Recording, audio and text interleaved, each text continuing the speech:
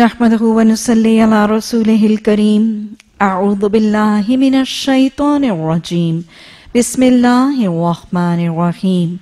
رب اشرح لي صدري ويسر لي أمري واحلل عقدة من لساني يفقه قولي واجعل لي وزيرا من أهلي. اللهم إني أسألك حبك وحب من يحبك وعمل الذي يبلغني حبك. اللهم صل على محمد وعلى آل محمد كما صليت على إبراهيم وعلى آل إبراهيم إنك حميد مجيد. اللهم بارك على محمد وعلى آل محمد كما باركت على إبراهيم وعلى آل إبراهيم إنك حميد مجيد. شرح کتاب الایمان، باب بتیس، باب اتباع الجنازی من الایمانی. اتباع پیچھے چلنا جنازوں کے ایمان میں سے ہے۔ حدیث نمبر 44 حضرت ابو حریرہ رضی اللہ تعالی عنہ سے روایت ہے کہ رسول اللہ صلی اللہ علیہ وسلم نے فرمایا کہ جو کوئی ایماندار ہو کے، ایماندار کا مطلب یعنی ایمان کی حالت میں ہو کر حصول ثواب کی نیت سے کسی مسلمان کے جنازے کے ساتھ جائے اور نماز اور دفن سے فارغ ہونے تک اس کے ساتھ رہے تو وہ دو کی ثواب لے کر واپس آتا ہے۔ ہر کی رات اخت پہاڑ کے برابر ہے اور جو شخص جنازہ پڑھ کر دفن سے پہلے لوٹ آئے تو وہ ایک کی رات ثواب لے کے لوٹتا ہے۔ کتاب الایمان میں ایمان کے حوالے سے ایک تعارف اور ایک تبصرہ جاری ہے۔ اگر ہم شروع ہی میں دیکھیں تو اللہ سبحانہ تعالیٰ قرآن اور حدیث کے ذریعے ہم تک ایمان کا تعارف مختلف طریقوں سے پہنچاتے ہیں۔ ایمان کا مطلب کیا ہے؟ مان لینا۔ اور یہ بات یہاں سے اس حدیث سے بھی واضح ہو رہی ہے اور پچھلی بھی تمام احادیث سے واضح ہوتی ہے کہ ایمان صرف دل کی حالت نہیں ہے۔ اس باب کو چیپٹر میں رکھا گیا۔ یہ بتانے کے لیے کہ جنازوں کے پیچھے جانا اور مسلمانوں کے جنازوں میں حاضر ہونا ایمان کی ایک کیفیت کی نشانی ہے۔ تو گویا ایمان کے لیے عمل اور عمل کی تصدیق لازم ہے۔ دوسری بات جو واضح طور پر عیاں ہوتی ہے کہ عمل عمل کون سا قبول ہوتا ہے؟ عمل کی قبولیت کی شرائط ایمان کا ہونا اس عمل کا قرآن و حدیث کے مطابق ہونا اور پھر کون سی نیت ہونا، ثواب کی نیت، اجر کی نیت، جنت کے حصول کی نیت اور رب کے راضی کرنے کی نیت یا رب کی ناراضگی سے بچنے کی نیت۔ یہ سب مختلف حالتیں ہیں، لیکن نیت کا ثواب اور اجر کی نیت سے ہونا یہ بھی عمل کی قبولیت کی شرائط۔ یہ دونوں باتیں اس حدیث سے واضح طور پر سمجھ میں آتی ہیں۔ اگلی بات اور اگلا اصول اور پیغام کہ مسلمان جنازہ کس کا پڑھے گا؟ مسلمان ہی کا جنازہ پڑھنا ایک مسلمان کے لیے پسندیدہ بھی ہے اور پسندیدہ ہونے کے ساتھ جائز بھی ہے۔ مسلمان مسلمان ہی کا جنازہ پڑھے گا اور جب وہ پڑھے گا تو اس کے لیے یہ عمل مستحب اور پسندیدہ اور مسنون بھی ہے۔ حدیث میں بھی موقع ہے، سنت سے بھی ثابت ہے، مستحب اور پسندیدہ اور باعث اجر و ثواب بھی ہے۔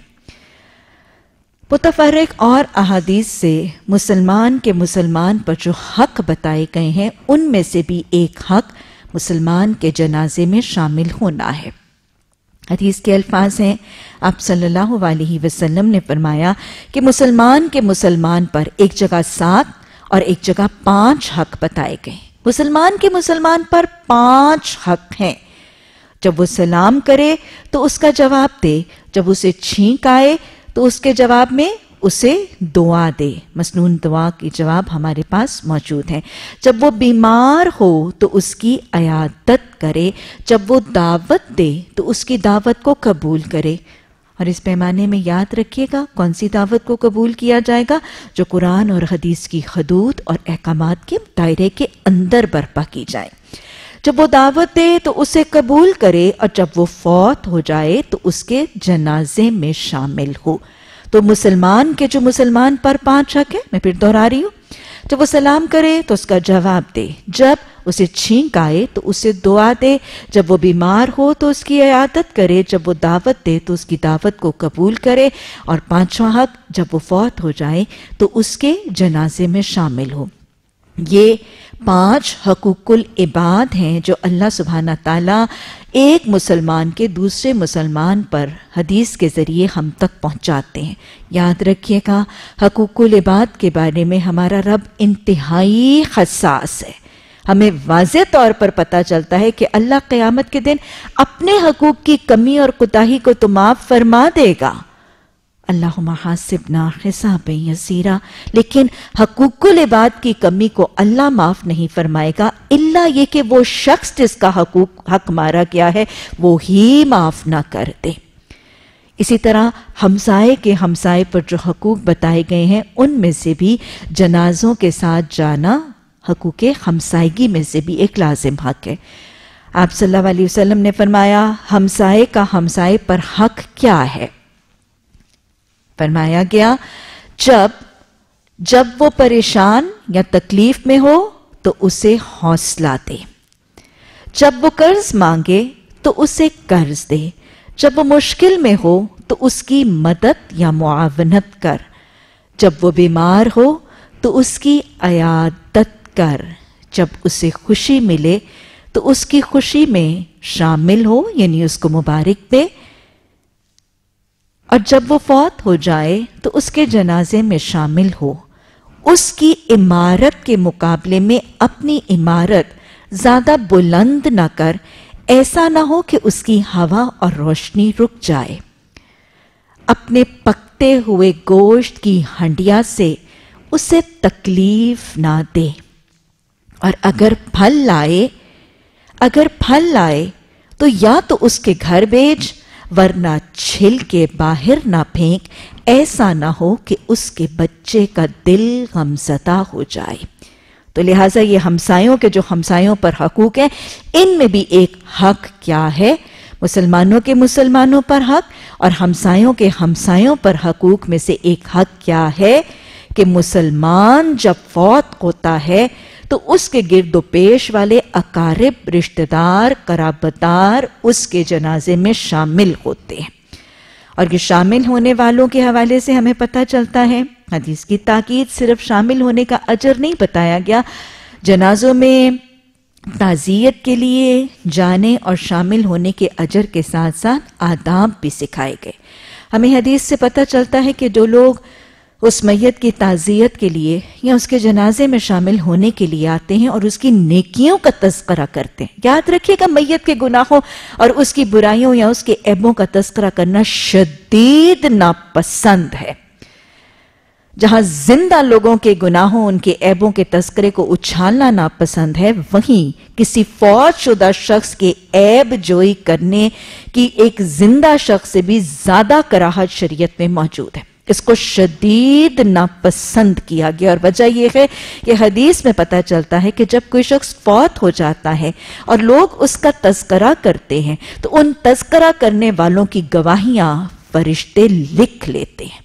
تو لہٰذا آنے والوں کو سختی سے یہ تاکید کی گئی کہ فوت ہونے والے شخص کے اگلے سفر کی آسانی کے لیے اس کی نیکیوں، اس کی بھلائیوں، اس کی خوبیوں اور اس کے خیر کے کاموں کا تذکرہ کیا جائے تاکہ اس وقت لکھنے والے فرشتے اس کی بھلائیوں کی گواہی لے کر حاضر ہونے والے بن جائیں۔ کسی میت کے عیب اچھالنے کو شدید ناپسند کیا گیا۔ اور ویسے بھی حدیث یاد رکھیے گا، جو شخص کسی کے عیبوں پہ پردہ ڈالتا ہے اللہ قیامت کے دن اس کے عیبوں پر پردہ ڈالتا ہے۔ اور اسی طرح حدیث کے الفاظ ہیں، جو شخص کسی دوسرے کے عیبوں کے در پہ ہو جاتا ہے یعنی پیچھے پڑ جاتا جو شخص کسی دوسرے کے عیبوں کے پیچھے پڑ جاتا ہے، تو اللہ اس کے عیبوں کے در پہ ہو جاتا ہے، یہاں تک کہ اس کو اس کے گھر میں بھی رسوا کر دیتا اللہم لا تجعلنا منہم، اللہ ہمیں ان بدبختوں میں سے نہ بنانا۔ اللہ یہ قرید یہ ٹو یہ عیب جوئی، ان فتنوں سے اللہ کراخت محسوس کر کے ان سے بچنے والا، ان سے اجتناب کرنے والا خوش نصیب بنا دینا۔ تو لہٰذا یہ آداب اور یہ اس کا اجر۔ ایک اور بات سمجھ میں آتی ہے کہ جنازے اور میت کا جنازہ جب اٹھایا جاتا ہے تو اس کے پیچھے چلنا ادب اور سلیقہ ہے۔ یہ احترام کا معاملہ ہے۔ بزرگوں اور والدین کے لیے بھی اسی طرح کا ملتا جلتا معاملہ پسندیدہ ہے، لیکن جنازے کے بھی آگے نہیں، پیچھے چلنے کا تصیر کا یہاں سے پتہ چل رہا ہے، کیونکہ آپ دیکھیں کہ ثواب کس کے ہیں؟ مسلمان جنازے کے پیچھے جائے۔ گویا دوسری بات، پھر اگلا سور دیکھ لیجیے کہ جنازے کے پیچھے چلنا اصل طریقہ سنت اور حدیث سے ثابت ہے چلنا پیچھے ہے اپنے ادب اور احترام کے لیے، اور چلتے وقت کیا کرنا ہے؟ ہمیں پتہ چلتا ہے کہ چلتے وقت ایک تو اس میت کے لیے جو اپنے سفر عدم اور اتنے ابدی سفر پر روانہ ہوا، جو جس کی ہر آنے والی منزل، اس کی پچھلی منزل سے زیادہ مشکل ہے، اس کے لیے بخشش اور آسانی اور دعائے رحمت اور مغفرت کرنا۔ اور اپنے لیے فکر آخرت کی یاد دہانی، تربیت اور تزکیہ کرنا۔ اب یہاں پر حدیث کے اگلے حصے میں یہ بتایا جا رہا ہے کہ جب وہ پیچھے جائے گا اور اس کے نماز پڑھے گا اور پھر دفن سے فارغ ہونے تک رہے گا تو اس کے لیے دو کرات ہیں اور اگر صرف نماز پڑھ کے واپس آ جائے گا تو اس کے لیے ایک کرات ہے۔ ایک بات سمجھ میں آ رہی ہے کہ رسول اللہ صلی اللہ علیہ وسلم جب احادیث کے ذریعے بات بیان کر رہے ہوتے تھے، تو سمجھا رہے ہوتے تھے، تو آپ تشبیحات سے بات بتاتے ہیں۔ یہ بہت جگہ بہت جگہ حدیث میں آپ تشبیح مثال اور سملی کے ذریعے بات کرنے کا انداز حدیث میں نظر آتا ہے۔ میں نے کل بھی یہ بات کی تھی کہ تشبیح سملی اور اگزامپل سے بات کرنا یہ ٹیچنگ تعلیم اور ایجوکیشن کا ایک بہت افیکٹو ٹول ہے۔ ہمیں بھی اس کو اپنی تعلیم اور تدریس میں شامل کرنا لازم ہے۔ ڈے ٹو ڈے معمولات زندگی میں سے مثالیں لینا اور اپنی روز مرہ زندگی کی تشبیہات کے ساتھ بات سمجھانا۔ یاد رکھیے گا اس کے بہت سے فوائد ہیں۔ ایک تو بات زیادہ آسانی سے سمجھ آ جاتی۔ دوسرے وہ ذہن نشین ہو جاتی۔ اور تیسرے اس کو یاد رکھنا آسان ہو جاتا ہے۔ ہم اپنی normal day to day life کی مثالوں میں سے جب مثال دے کر بات سمجھاتے ہیں تو فوائد کیا ہے ایک تو وہ بات جلدی سمجھ آتی ہے، ذہن نشین ہو جاتی ہے اور تیسرا اس کو یاد رکھنا آسان ہوتا ہے۔ اور یہ تو مقصد ہوتا ہے ہماری تعلیم کا کہ بات سمجھ آئے، ذہن نشین ہو جائے اور اس کے بعد یاد رہے۔ ابھی آپ دیکھیں کہ اللہ کے رسول صلی اللہ علیہ وسلم جب یہ تشبیحات دیتے ہیں تو بس اوقات یہ تشبیہات، یہ استعارے کچھ کنفیوزنگ اور ذرا مبہم اور ذرا ڈیفیکلٹ ہوتے ہیں سمجھنے، تو آپ ان تشبیہات کو مزید بیان کر دیتے تھے۔ جہاں پہ قیرات کے الفاظ اور پھر قیرات کی وضاحت کر دی کہ قیرات کتنا ہے احد پہاڑ جتنا بڑا۔ گویا آپ لگاتار حدیث اور آپ صلی اللہ علیہ وسلم کے تعلیم کے انداز میں دیکھیں گے کہ آپ کی تعلیم، یعلمہم الکتاب والحکمہ کا طریقہ کیا ہے۔ آپ صلی اللہ علیہ وسلم کی تعلیم بڑی سادہ، عام فہم، سیدھی سادی کلیئر کٹ سمپل سی دو ٹوک بات۔ اور اگر کہیں بات کرنے کے انداز میں آپ کو لگتا کہ بات ذرا مشکل ہے، سمجھ نہیں آ رہی، تو ایک تو سنت کا طریقہ، آپ ایک نہیں، دو نہیں، تین دفعہ اس بات کو دہراتے تھے۔ اور دوسری بات، اگر آپ کو لگتا تھا کہ وہ بات مشکل ہے، سمجھ نہیں آ پائی، تو پھر کیا ہے؟ آپ اس کو اس سے زیادہ آسان الفاظ میں کھول کے سمجھا کے بیان کر دیتے تھے۔ گویا، قرآن اور حدیث کی تعلیم اور دوسری بھی ساری تعلیم میں مقصد سمجھانا ہے۔ پڑھانا، سمجھانا، ذہن نشین کرانا ہے۔ اپنی اپنے فہم، اپنے علم کا روب یا دھاک جمانا کبھی بھی ایک معلم کا مقصد نہیں ہے۔ دعوت میں یاد رکھیے گا، جب آپ درس دیں گے، جب آپ دعوت دیں گے تو آپ نے اپنے دروس اور اپنی محفلوں کا مقصد یہ نہیں رکھنا، کبھی بھی یہ نہیں رکھنا کہ لوگوں کے دلوں اور ذہنوں کو اپنی علم سے مروب کرنا ہے۔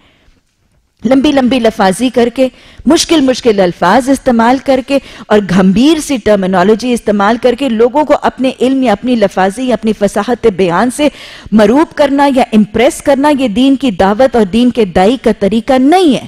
یہ متقبر دائیوں کا طریقہ تو ہو سکتا ہے، لیکن پرخلوص اور مخلص دائیوں کا طریقہ یہ ہے کہ ایسے انداز، ایسے لہجے، ایسے طریقے سے بات ادا کی جائے کہ سمجھ بھی آ جائے اور دل میں بھی اتر جائے۔ اور دل میں کون سی بات اترتی ہے؟ یاد رکھیے گا، ہمیشہ دل میں وہ بات اترتی ہے جو نکلی دل سے ہو۔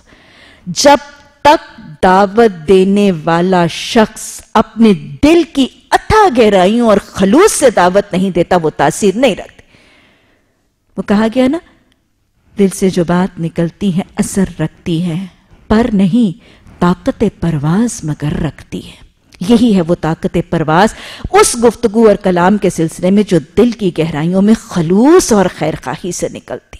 اللہ خلوص کے ساتھ، اخلاص کے ساتھ ایزار کے ساتھ اور بہت شدید محبت اور تڑپ کے ساتھ دعوت دینے والا مخلص دائی بناتے۔ تو لہٰذا یہ رسول اللہ صلی اللہ علیہ وسلم کی دعوت کا ایک اسلوب جو ہے وہ ہمیں یہاں سے نظر آتے اور پھر سب سے بڑھ کے بات نظر آتی ہے کہ جتنی نیکی بڑھ کے کریں گے، جتنا عمل زیادہ ہوگا، جتنی محنت زیادہ ہوگی، جتنی کوشش، جتنا ایفرٹ زیادہ ہوگا، جتنا وقت زیادہ لگے۔ جتنا وقت، جتنی صلاحیت، جتنی محنت، جتنی کاوش، کوشش زیادہ ہوگی، اتنا اجر بڑھ جائے گا۔ اسی لیے تو قرآن کیا سکھاتا ہے؟ فَاسْتَبِقُ الْخَيْرَاتِ، نیکیوں میں دوڑ لگا تو۔ اور یہ فَاسْتَبِقُ الْخَيْرَاتِ کا صرف اللہ سبحانہ تعالیٰ حکم نہیں دیتے، اس کی طرف قائل نہیں کرتے فَاسْتَبِقُ الْخَيْرَاتِ کے طریقے بھی سکھا دیتے ہیں، اس کے مختلف زمرے اجر کے بھی بتا دیتے کوئی شخص اگر جنازے کے ساتھ جائے گا اور پھر اس کی نماز تک رہے گا، تو ایک کرات کا ثواب پائے اگر نماز کے بعد دفن تک رہے گا، تو دو کرات یعنی دو اخد پہاڑ جتنا اجر پائے گا۔ کیوں؟ کیونکہ ظاہر ہے اس کا عمل زیادہ تھا، اس نے زیادہ وقت لگایا، اس نے زیادہ محنت، زیادہ قربانی، زیادہ اخلاص، زیادہ اثار دیا۔ اور دوسری بات، دوسرے مسلمان مومن بھائی جو اس کے ورثاء ہیں، جو پسماندگان ہیں، ان کی زیادہ غم گساری کی، ان کی زیادہ دلجوئی کی، ان کے لیے زیادہ دیر حوصلے کا معاملہ اس نے اختیار کیا۔ کیونکہ آپ دیکھیں، نماز جنازہ بھی بہت ہی ایک دکھ کسی کیفیت ہوتی ہے، لیکن اپنے رشتہ دار اور اپنے عزیز کو اس قبر کی مٹی کے حوالے کرنا بہت زیادہ ایک غم کی حالت۔ تو جو شخص اس غم کی کیفیت میں بھی ان کے ساتھ رہا، ان کی غم گزاری کرتا رہا، ظاہر ہے، دین کیا ہے؟ خیر خواہی کا نام ہے۔ تو جس نے جتنی خیر خواہی کی، وہ اتنا اجر سمیٹے گا۔ اور پھر ایک اور بات یہ بھی سمجھ میں آ رہی ہے کہ نماز جنازہ پڑھنے کے بعد دفن سے پہلے بھی لوٹا جا سکتا ہے۔ البتہ دفن تک رکنا زیادہ پسندیدہ اور مستحب اور زیادہ باعث اجر و ثواب ضرور ہے۔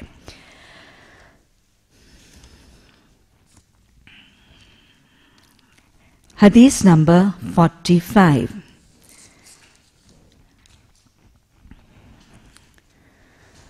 حضرت عبداللہ بن مسعود رضی اللہ تعالیٰ ان سے روایت ہے کہ رسول اللہ صلی اللہ علیہ وسلم نے فرمایا، مسلمان کو گالی دینا۔ کون کس کو گالی دے؟ یعنی ایک مسلمان کا دوسرے مسلمان کو گالی دینا۔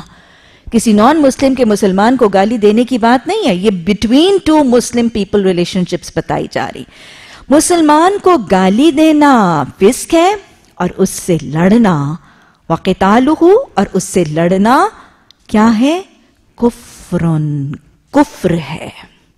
گویا کچھ عمل، کچھ ایکٹیویٹیز ایسی ہیں جو ایمان کو گھٹانے، اور کچھ عمل ایسے ہیں جو ایمان کو خارج کرنے یعنی کفر کا ذریعہ بن جاتے ہیں۔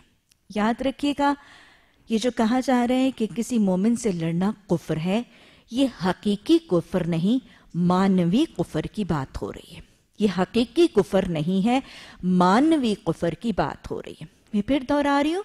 کچھ عمل اسلام میں داخل ہونے کے بعد، ایمان کو دل میں لانے کے بعد کچھ عمل اس ایمان کی کمی اور اس ایمان کو فسق میں بدلنے کا ذریعہ بنتے ہیں۔ اور کچھ عمل اس ایمان کو خارج کرنے اور کفر کو داخل کرنے کا ذریعہ بنتے ہیں۔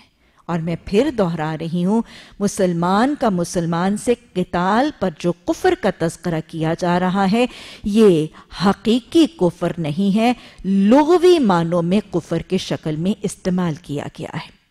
گویا،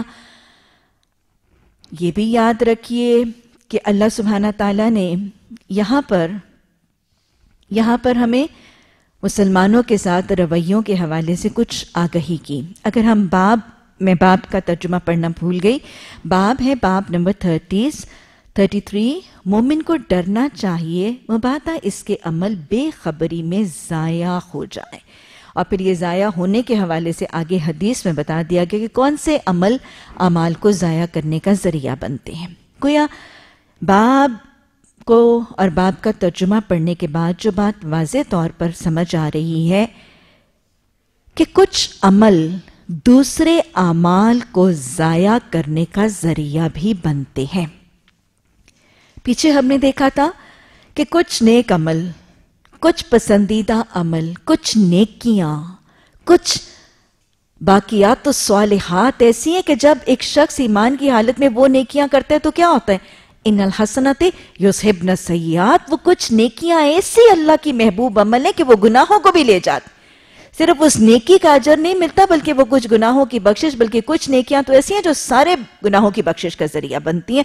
اور میں نے آپ کو فہرست دی۔ تھی تو اس باب سے یہ پتا چلتا ہے کہ کچھ عمل ایسے ہیں، اللہ کے ہاں اتنے ناپسند ہیں، اللہ کو اتنے اتنے زیادہ اللہ نے ان سے منع کیا کہ وہ کرنے والا صرف گناہ نہیں کماتا، اپنے دوسرے اعمال کی بربادی اور ضیاء کا معاملہ بھی وہ کرنے والا بن جاتا ہے۔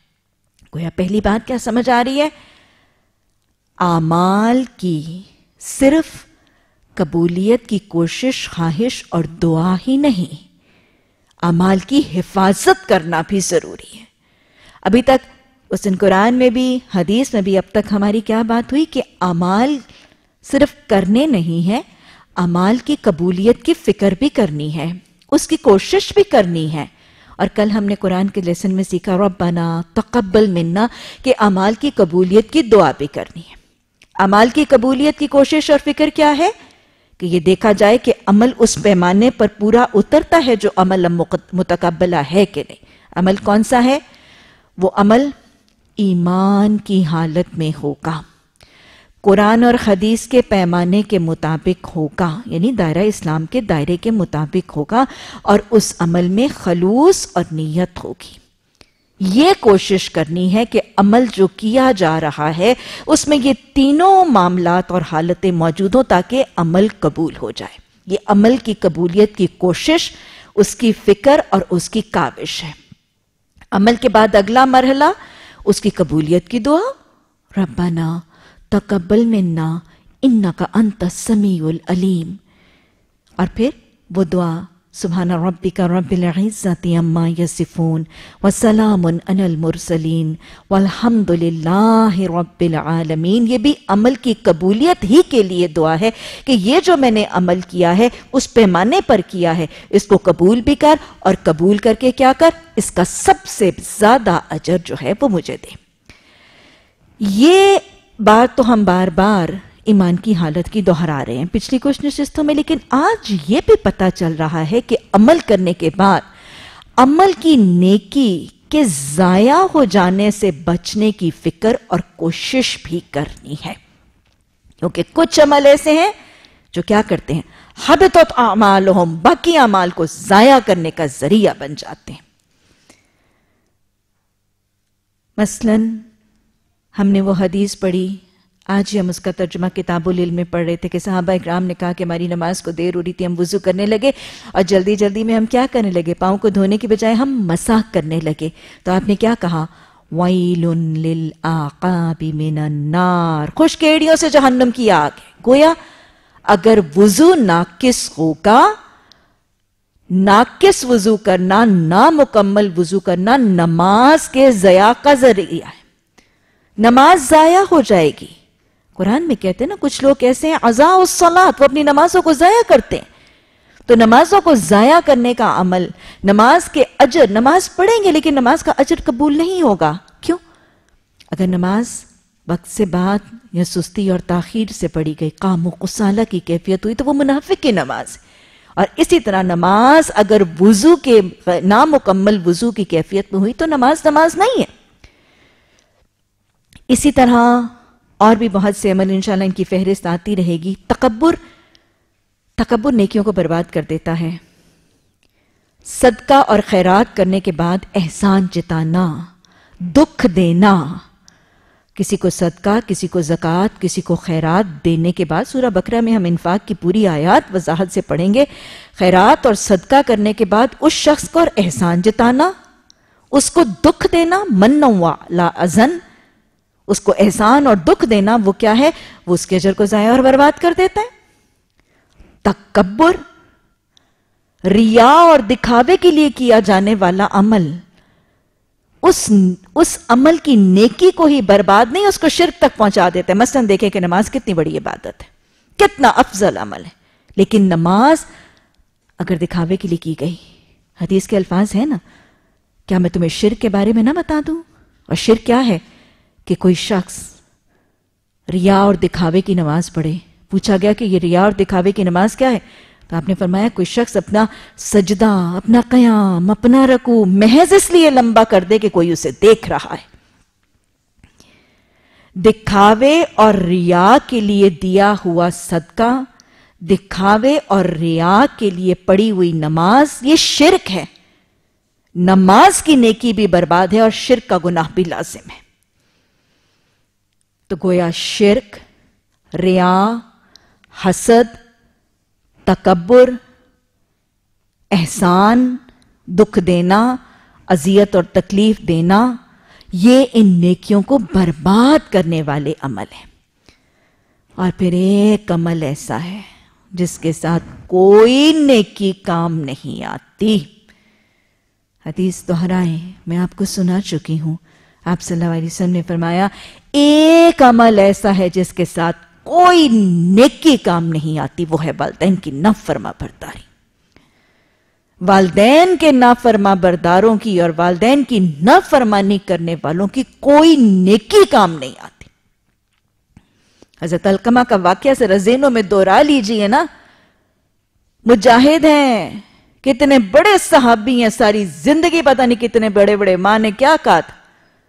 مجھے الکما کے دین سے کوئی شکوہ نہیں۔ دیندار ہے روزے دار ہے شبے دار ہے۔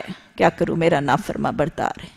نیکی کام نہیں آ رہی، ساری زندگی کلمہ طیبہ کے مطابق گزارنے کے باوجود موت کے وقت کلمہ طیبہ جاری نہیں ہو رہا۔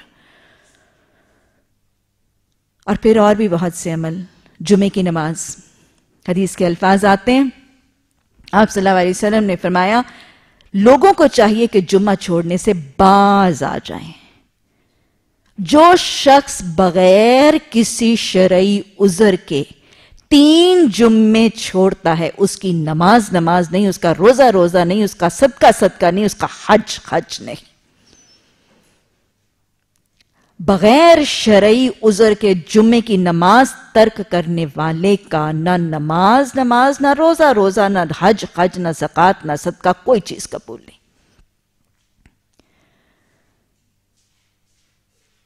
اور پھر والدین اور حقوق العباد کے بعد بیوی کے لیے شوہر کا حق۔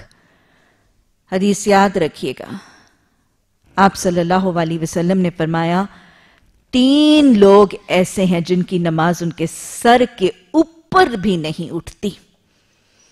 تین لوگ ایسے ہیں کہ ان کی نماز ان کے سر سے اوپر بھی نہیں یعنی اٹھتی نہیں ہے، یہاں سے اوپر نہیں اٹھتی جائے گی کہاں؟ قبول کہاں ہوگی؟ شراب پینے والا جب تک وہ شراب کے نشے سے نکل نہ آئے۔ یعنی جب تک نماز کے نشے میں نا اس کی نماز قبول نہیں آئی، قرآن کا بھی حکم ہے۔ لا تقرب الصلاة وانتم سکارا۔ دیکھو، نماز کے قریب بھی نہ جاؤ جب تم نشے کی حالت میں ہو۔ آقا سے بھاگا ہوا غلام جب تک وہ اس کے پاس واپس نہ آ جائے۔ جہاں غلاموں کو آزاد کرنے کا حکم آقاؤں کو دیا گیا ہے، وہاں غلاموں کو آقا کی فرما برداری کا سلیقہ بھی سکھایا گیا ہے۔ آقا سے بھاگا ہوا غلام جب تک وہ اس کے پاس واپس نہ پلٹ آئے۔ اور وہ بیوی جس سے اس کا شوہر کسی حق یا جائز بات پر ناراض ہے جب تک وہ راضی نہ ہو جائے۔ یعنی شوہر اپنی بیوی کو کوئی حق بات، کوئی درست بات کہہ رہا ہے اور وہ مان نہیں رہی اور وہ خفا ہے۔ یا وہ لڑ رہی ہے جھگڑ رہی ہے کسی ناحق بات پہ اور وہ خفا ہے۔ تو ایسی بیوی جس کا شوہر کسی حق بات پر اس سے خفا ہے، اس کی نماز اس کے سر سے اوپر نہیں اٹھتی جب تک وہ شوہر راضی نہ ہو جائے۔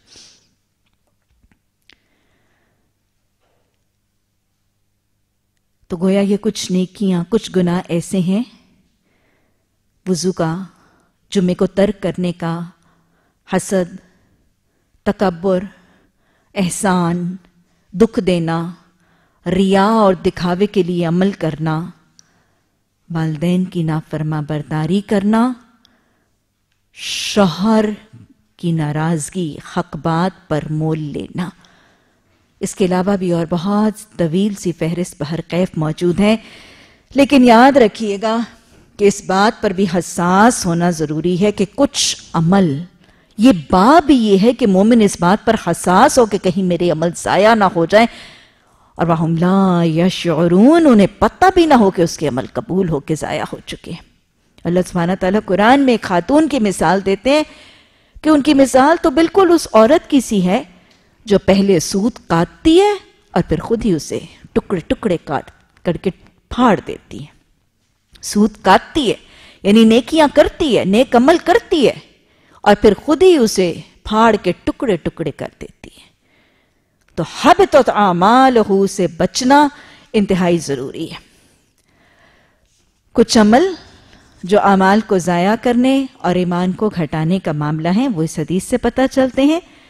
سباب المسلمی فسوق۔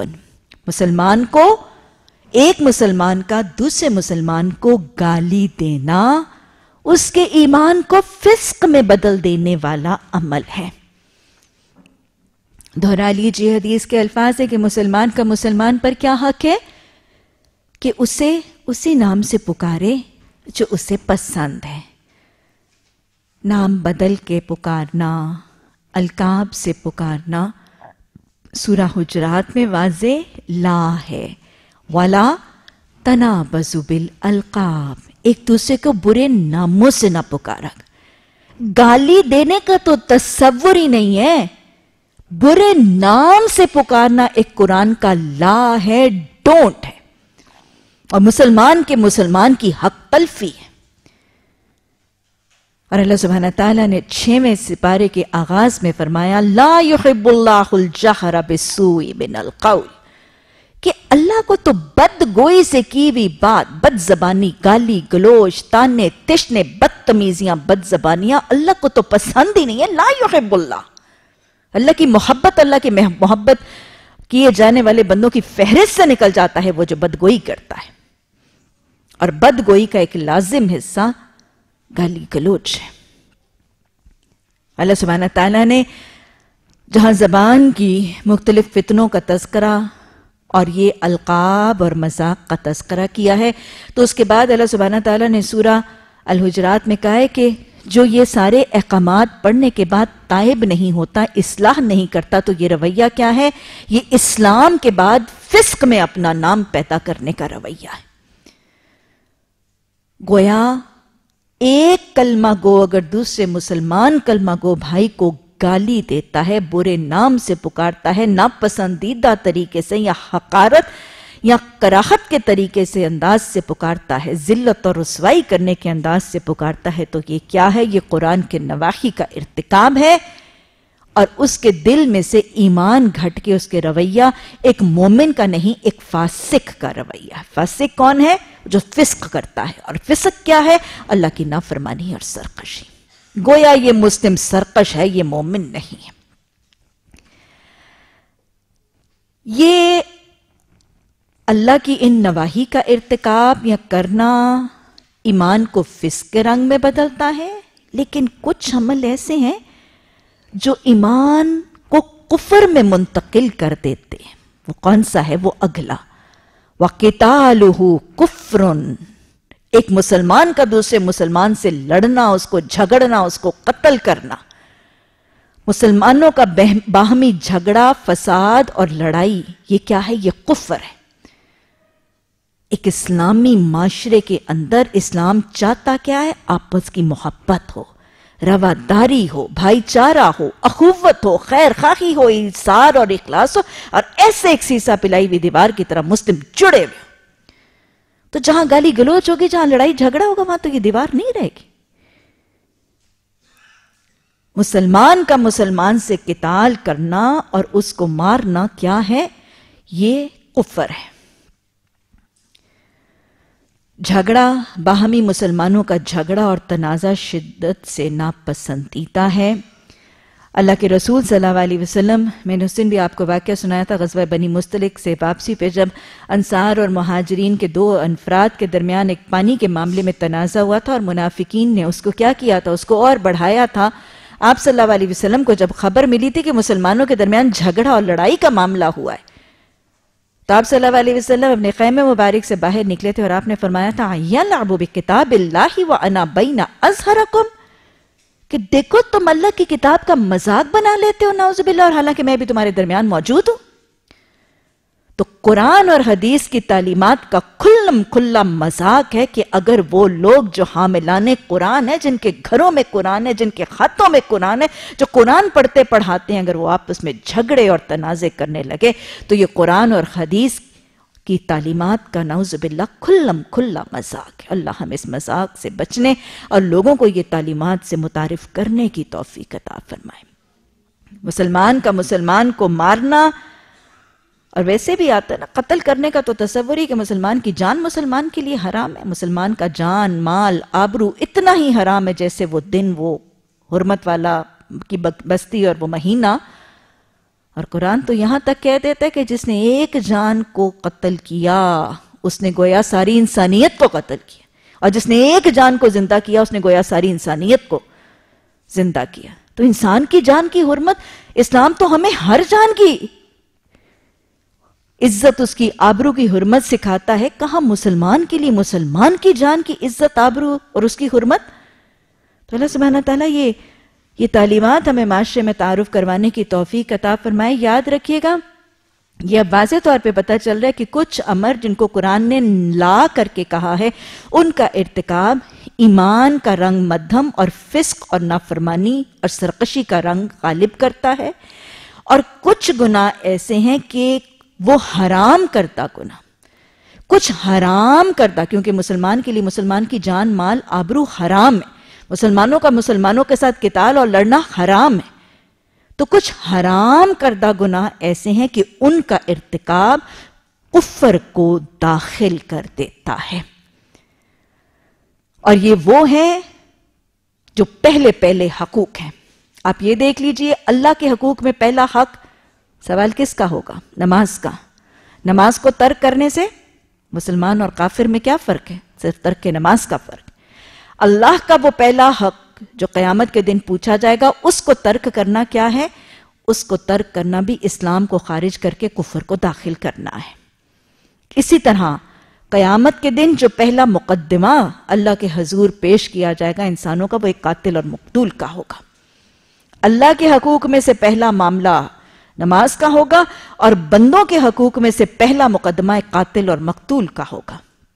اور ہمیں حدیث میں پتہ چلتا ہے کہ قاتل اس حال میں آئے گا کہ مقتول اس کی گردن کو تھامے ہوگا اور مقتول کے زخموں سے خون بہ رہا ہوگا۔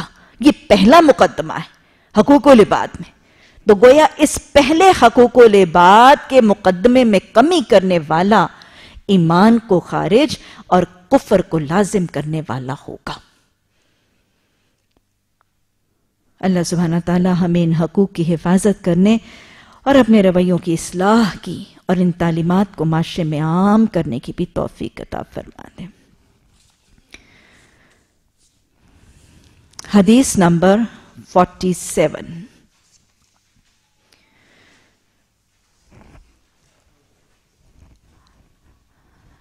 حدیث نمبر 46 46 حضرت عبادہ بن سامت رضی اللہ تعالیٰ عنہ سے روایت ہے کہ رسول اللہ صلی اللہ علیہ وسلم ایک دفعہ شب قدر بتانے کے لیے خجرے سے نکلے۔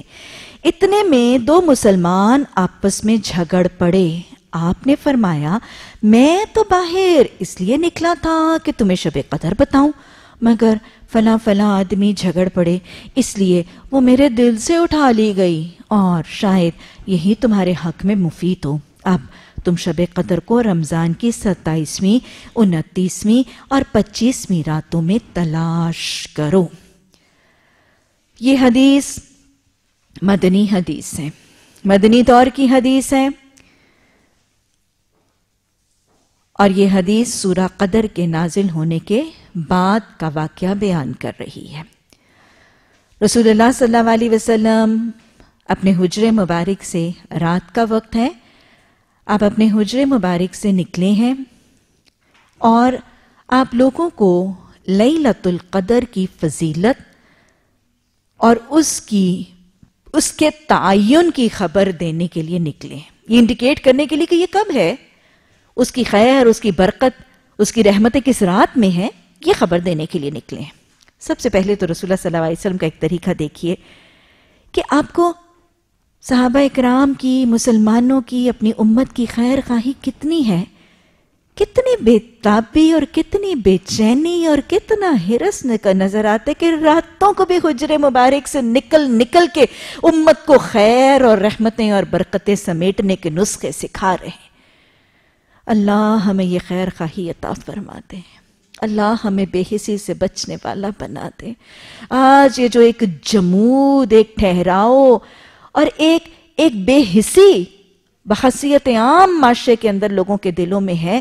اللہ اس بے حسی سے بچا کر اللہ ہمیں ہمیں دلوں کی حساسیت عطا فرما۔ اللہ اپنی بھی آخرت کی فکر اللہ امت کی حالت کی اصلاح اور اللہ تمام مسلمانوں کی فکر اور خیر خواہی کی حساسیت عطا فرما دے۔ تو رسول اللہ صلی اللہ علیہ وسلم کا ایک طریقہ کار جو ہے یہ تو واضح طور پر نظر آ ہی رہا ہے، لیکن اس کے علاوہ بھی ہمیں بہت سے پیغام اس معاملے سے مل رہے ہیں۔ سب سے پہلے تو دیکھیے کہ اللہ کے رسول صلی اللہ علیہ وسلم شب قدر کے حوالے سے کچھ اور بتانے کے لیے اپنے حجرے سے باہر تشریف لا رہے حالانکہ قرآن نے قرآن نے تو اس کی حقیقت کو بڑی وضاحت سے بیان کر دیا تھا۔ سورہ سورہ القدر۔ فی لیلت القدر وما ادراک ما لیلت القدر؟ لیلت القدر خیر من الف شہر کتنی حقیقت اللہ سبحانہ تعالیٰ نے لیلت القدر کے بارے میں بیان کر دی، لیکن آپ صلی اللہ علیہ وسلم حدیث اور اپنے بیان سے لیلت القدر کی مزید وضاحت بیان کرتے یہ بالکل وہی ہے جو رسول اللہ صلی اللہ علیہ وسلم کا چار نکاتی طریقہ ہم نے کل تفسیر کے حوالے سے پڑھا۔ آپ قرآن کی آیات کی تلاوت کر کے معاملہ چھوڑ نہیں دیا کرتے تھے۔ اس کے بعد کیا تھا؟ یعلمہم الکتاب والحکمہ بھی کیا جاتا تھا اور یزکیہم بھی کیا جاتا تھا۔ جب سورہ قدر میں اللہ سبحانہ تعالیٰ نے لیلت القدر کی اتنی فضیلت، اتنی برکت، اتنی اہمیت اور اس کے انداز اور سارا کچھ سمجھا دیا اور آپ نے یہ تلاوت کر دیا تو کیا چھوڑ دیا کیا؟ نہیں۔ اس کے بعد حدیث کے ذریعے اور سنت کے ذریعے مزید اس لیلت القدر کی فضیلت، اس کی اہمیت، اس کی انڈیکیشن اور اس کے اوپر عمل پیرا ہونے کا طریقہ حدیث اور سنت کے ذریعے سکھایا گیا۔ پہلی بات، قرآن کی تشریح اور توضیح حدیث اور سنت کرتے ہیں۔ آپ کا چار نکاتی ایجنڈا یتلو علیہم آیاتکا، یعلمہم الکتاب والحکمہ ویزکیہم۔ یہ اس کی ایک اور مثال وضع کرتا ہے۔ آپ نے کیسے کیا؟ حدیث کے الفاظ موجود ہیں۔ اس موقع پر تو آپ نکلے، لیکن آپ بیان کرنے سے رکے رہے، لیکن حدیث کے الفاظ موجود ہیں۔ آپ نے سورہ قدر کی تفسیر اور وضاحت اور لیلت القدر کی مزید نشاندہی کے لیے حدیث کا نمونہ وضع کیا۔ آپ نے فرمایا اس کو اس کو رمضان کے آخری اشے کی تاک راتوں میں تلاش کرو۔ وما ادراکا لیلت القدر تو قرآن نے کہہ دیا، لیکن ادراکا کے لیے ادراک حدیث نے بتا دیا۔ اور پھر صرف یہ نہیں تھا کہ آپ نے حدیث کے ذریعے بتایا، آپ نے اپنے عمل اور سنت کے ذریعے مزید سٹیمپ بھی لگا دی۔ حضرت عائشہ فرماتی ہیں کہ ویسے تو آپ ساری رمضان کی راتوں کو عبادت میں بڑے مصروف عمل اور مشقت فرماتے تھے، لیکن رمضان کے آخری اشرے کی راتوں میں آپ عبادت کے لیے کمر باندھ لیتے تھے۔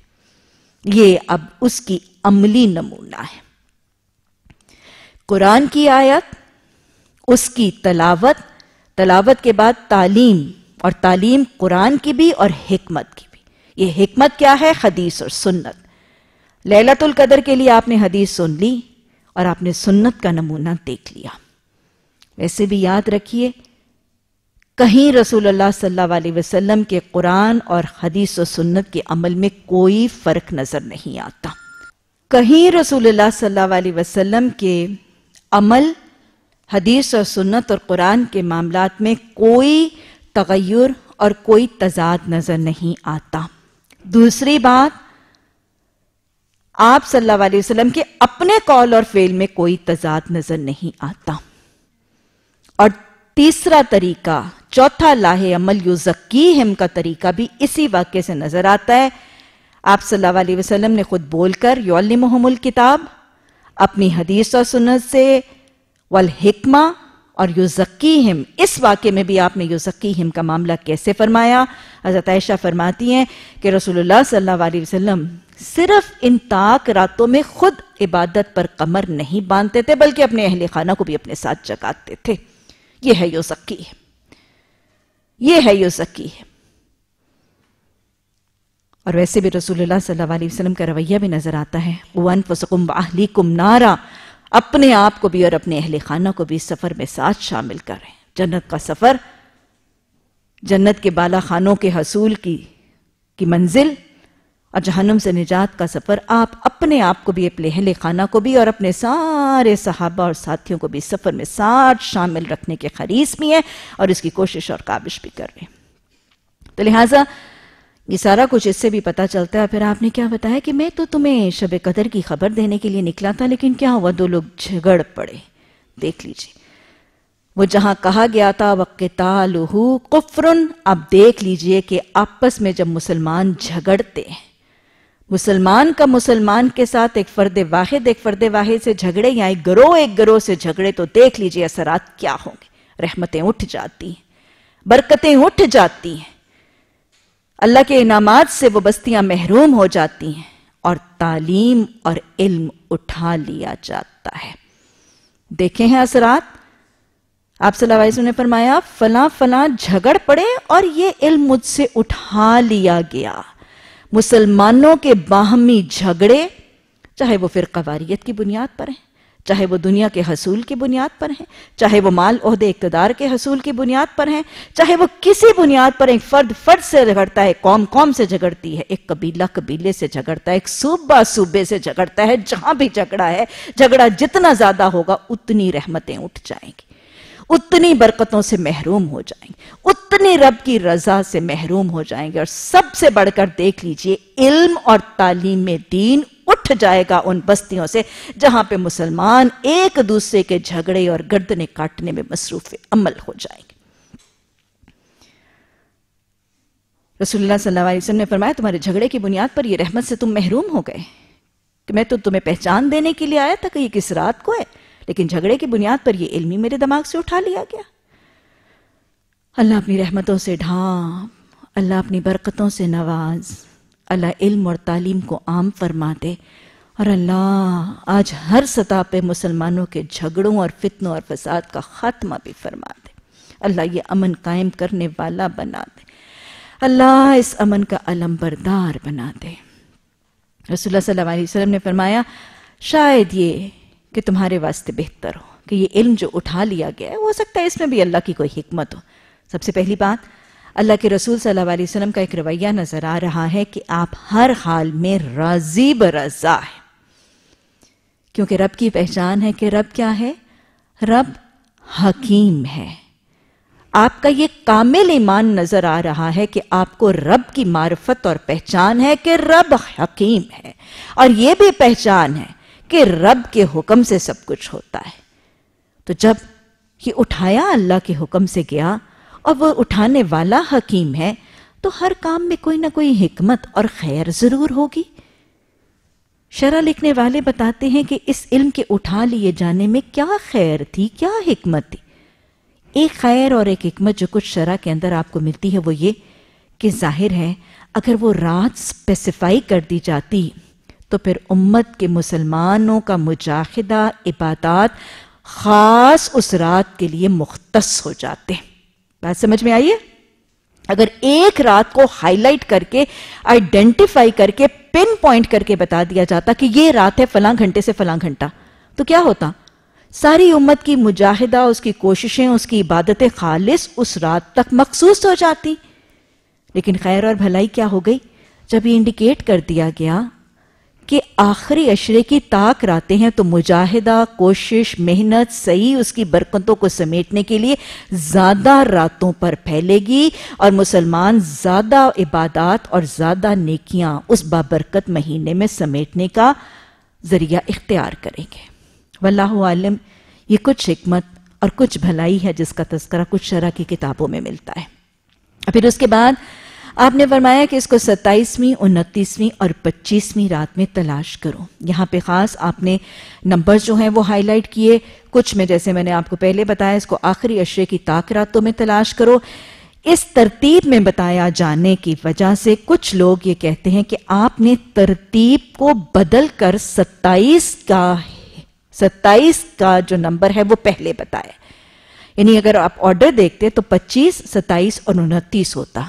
لیکن آپ نے پچیس کو بعد میں اور ستائیس کو اول کیا، ترتیب جو نفری کی تھی اس کو بدل دیا۔ کچھ لوگ یہ اس حوالے سے سمجھتے ہیں کہ ستائیس کا سب راتوں پر افضل ہونا اس حدیث اور اس سے ملتی جلتی احادیث سے ثابت ہے۔ البتہ اس میں حوالہ ایک شبے کا موجود ہے۔ حدیث جب صحیح آخری اشرے کی طاق راتے ہیں، تو مجاہدہ اور عبادت آخری اشرے کی ساری راتوں میں انتیسویں تک کی رات میں کرنا لازم ہے۔ اس کی برکتوں اور اس کی رحمتوں کو سمیٹنے کے لیے۔ باب باب چونتیس، تھرٹی فور حضرت جبریل علیہ السلام کا نبی صلی اللہ علیہ وسلم کو ایمان، اسلام اور احسان کے بارے میں سوال کرنا۔ کتاب الایمان میں یہ رکھا گیا ہے اور یہ باب ظاہر کر رہا ہے ایک اس موقع کو جب حضرت جبریل امین جو کون تھے؟ تو لہٰذا ہم بات کرے تھے کہ معلم حضرت جبریل امین ہے اور طالب علم خاتم النبیین محمد صلی اللہ علیہ وسلم ہے اور یہ وہ تعلیمی نشستیں ہیں جس کے لیے اللہ نے پھر اختتام پر ان تعلیمی نشستوں کی فرما دیا تھا۔ الیوم اکملت لکم دینکم و اتممت علیکم نعمت۔ یہ وہ تعلیم نشست ہے۔ نہ ایسی کبھی تعلیم ہوئی، نہ ایسا کبھی کوئی معلم ہے، نہ ہوگا، نہ ہوا تھا، اور نہ ایسا کبھی کوئی طالب علم رہا ہے، نہ رہے گا، نہ رہا تھا۔ اس تعلیمی نشست کے حوالے سے یہ حدیث ایک بہت ہی خوبصورت حدیث ہے۔ اور اس باب میں آنے والی اس حدیث کو امام الحدیث بھی کہا جاتا ہے۔ حدیث جبرائیل علیہ السلام امام الحدیث اور امام الجوامع وہ حدیث جو سب معاملات کو جمع کرنے والی امام الجوامع امام الحدیث اور حدیث جبرائیل علیہ السلام اس حدیث کا نام ہے۔ اگر آپ باب کے حوالے سے بات دیکھیں تو باب کا ترجمہ کچھ ایسا ہے کہ حضرت جبریل امین کا رسول اللہ صلی اللہ علیہ وسلم کو ایمان، اسلام اور احسان کے بارے میں سوال کرنا۔ گویا ایک بات تو جو باب ہی کے ترجمے سے سمجھ آتی ہے، سوال کرنا ایک پسندیدہ عمل ہے۔ سوال کرنا ایک پسندیدہ عمل ہے۔ اور میرا خیال ہے سبھی جانتے میں بہت دفعہ بتا چکی ہوں کہ سوال بذات خود، اگر احسن نیت کے ساتھ، صحیح نیت کے ساتھ کیا جائے تو سوال علم اضافے کا ذریعہ بنتا ہے۔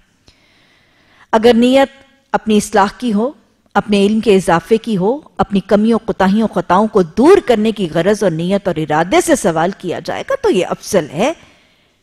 اور یہ علم کے اضافے کا ذریعہ بنے گا۔ اور ایسے سوال پسندیدہ ہیں بشرتے کے ادب اور احترام اور ضبط اور پابندی کے مطابق کیے جائیں۔ کوئی سوال کیے جا سکتے ہیں اور یہ پسندیدہ ہے۔ دوسری بات جو واضح طور پر سمجھ آ رہی ہے کہ یہاں پر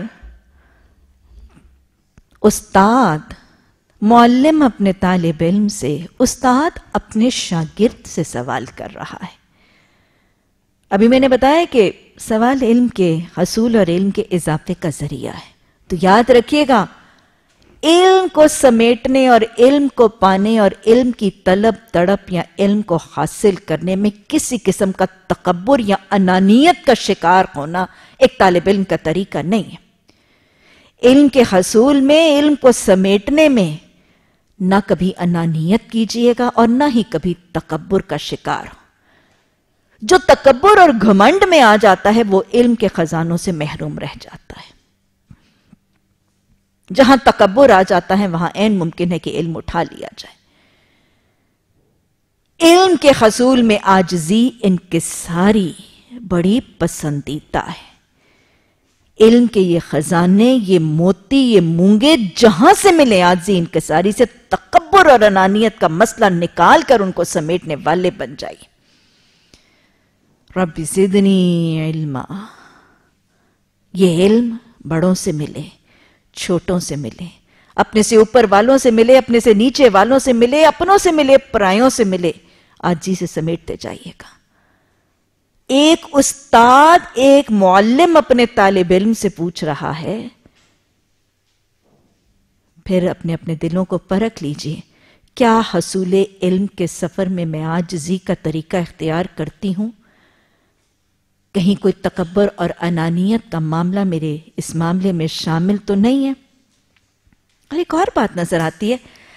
بس اوقات بس اوقات شاگرد اپنے استاد سے آگے نکل جاتا ہے۔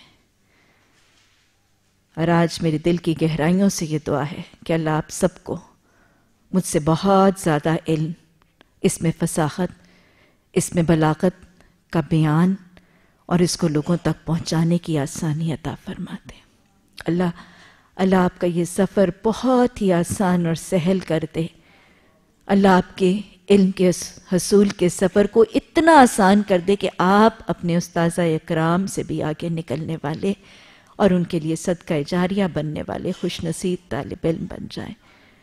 اور اللہ سبحانہ تعالیٰ ایک اور استدعا اور ایک دعا ہے۔ اللہ سبحانہ تعالیٰ ہمیں مرتے وقت تک قرآن اور حدیث اور دین کے علوم کا طالب علم رکھنا۔ حدیث جبرائیل۔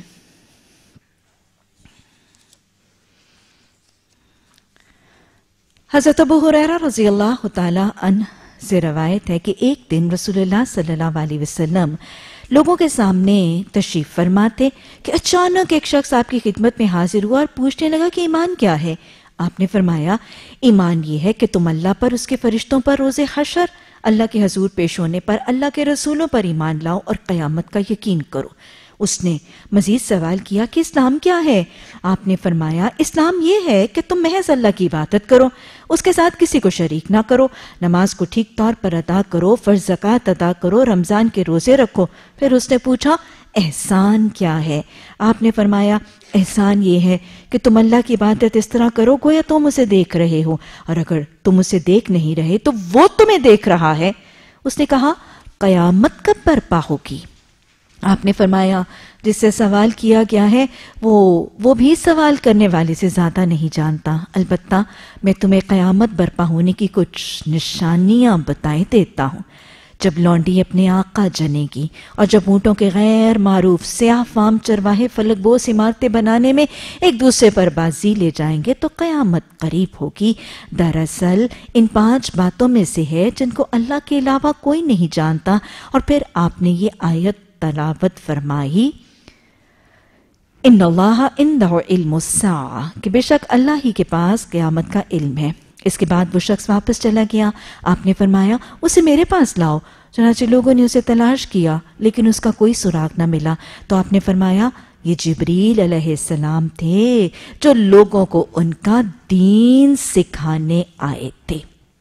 حدیث جبرائیل۔ امام الحدیث، حدیث جبرائیل۔ کچھ اصول میں نے سوال و جواب، تعلیم اور تدریس کے حوالے سے کیے۔ بتائیں اور اب ایک اور اصول یہ بھی یاد رکھ لیجیے گا کہ بسا اوقات انفرادی سطح پر تنہائی میں اور خلوت میں کیے جانے والے سوالوں کے مقابلے میں اجتماعیت کے ساتھ اونچی آواز میں کیے جانے والے سوال سب کی تعلیم اور علم اضافے کا ذریعہ بنتے ہیں۔ یہ بالکل وہی بات ہے جو میں آپ کو کل بھی آپ سے درخواست کر رہی تھی نا کہ آپ لوگوں نے جب مجھ سے کوئی مسئلہ، کوئی سوال، کوئی چیز پوچھنی ہوتی ہے تو کیا کیا کریں؟ بجائے اس کے کہ الگ سے آ کے الگ میں مجھ سے اسٹیج سے پوچھیں پوچھیں، ضرور پوچھیں۔ اللہ ہم سب کے اوقات میں بھی برکتیں اور ہمارے علم میں اضافہ بھی عطا فرمائے۔ لیکن وہ چیز جو اجتماعی طور پر سب لوگ مل کے پوچھتے ہیں، اس کا کیا فائدہ ہوتا ہے؟ وہ سب سن لیتے ہیں۔ وہ جو ایک نے سننا تھا یا اس میز کے ارد جو چار پانچ لوگ اس وقت تھے، وہ اس سے فائدہ اٹھاتے ہیں۔ لیکن اگر اجتماعی طور پر سوال ہو تو اس نشست میں سارے محفل والے اسے فیض پاتے ہیں۔ لہٰذا یہی معاملہ ہوا۔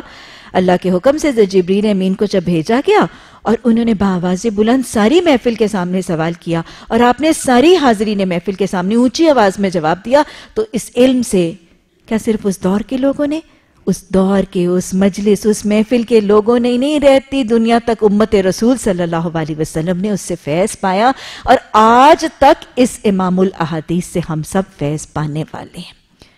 تو اللہ سبحانہ تعالیٰ ہمیں سوال کرنے، اس میں اپنی نیت کو درست رکھنے، اس کے نظم و ضبط اور پابندی کے مطابق ادب اور سلیقے سے سوال کرنے اور سوال کے جواب میں بہترین رحمتیں، برکتیں اور علم کے خزانے سمیٹنے اور پھر ان خزانوں کی تبلیغ کی بہترین توفیق عطا فرمائے۔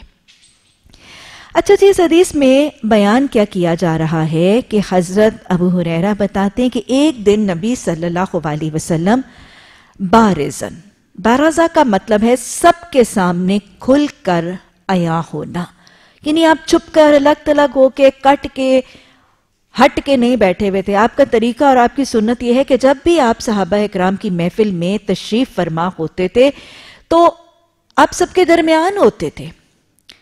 کتنا عدل ہے، کتنی مساوات ہے، کتنی برابری ہے۔ اونچ نیچ کے تصور کا تمام طریقے سے خاتمہ ہے۔ اور پھر آپ کے رویے کے اندر کتنی سادگی کتنی آجزی اور کتنی تکبر کی نفی ہے۔ You were amidst the rest of the صحابہ صحابہ اکرام کے درمیان کلم کھلے اوپن ٹو آل سب کے درمیان آپ صلی اللہ علیہ وسلم حاضر۔ تھے اور انشاءاللہ آگے جا کے بھی یہ معاملہ آئے گا۔ آج ہی ہم نے ترجمہ کیا کہ وہ سوالی آیا اور اس نے پوچھا کہ تم میں سے آپ اتنے گھلے ملے، رچے، بسے ان کے اندر بیٹھے ہوتے تھے کہ باہر سے آنے والا جو سٹرینجر ہوتا تھا بس اوقات آپ کو پہچان ہی نہیں پاتا آج ہم نے حدیث میں ترجمہ کیا نا، تو اس میں بھی ایسا ہی معاملہ ہوا۔ تو جب ایسا کچھ موقع میں بارہا ہوا کہ باہر سے آنے والے، آپ اتنے رچے بسے بیٹھے ہوتے تھے اس مساوات اور عدل کا درست دینے کے لیے کہ باہر سے آنے والے کے لیے بس اوقات پہچاننا مشکل ہوتا اور وہ سوال کرتے تھے کہ کون ہے؟ تو اس کو پیش نظر رکھنے کے لیے رسول اللہ صلی اللہ علیہ وسلم کے لیے ایک ہلکا سا ممبر اور ایک چبوترا یا ایک سٹیج ٹائپ چیز جو ہے بنائی گئی، جس پر آپ صلی اللہ علیہ وسلم پھر تشریف فرما ہوتے تھے اور پھر صحابہ اکرام سے مخاطب ہوتے تھے۔ گویا سنت کے اس اول سے یہ ثابت ہے کہ جو معلم ہے، جو مدرس ہے، وہ ذلقاسی اونچی نشست پر بیٹھ سکتا ہے۔ اور میں آپ کو بتاؤں کہ اس میں بس اوقات بہت سی حکمت تعلیم کے حوالے سے ہے۔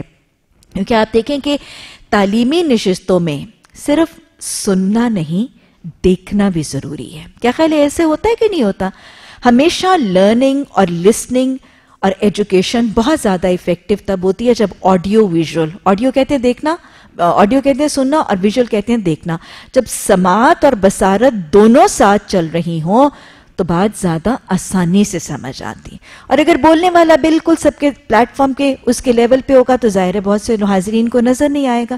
تو اس لیے شرعی طور پر اس کا جواز نکلتا ہے۔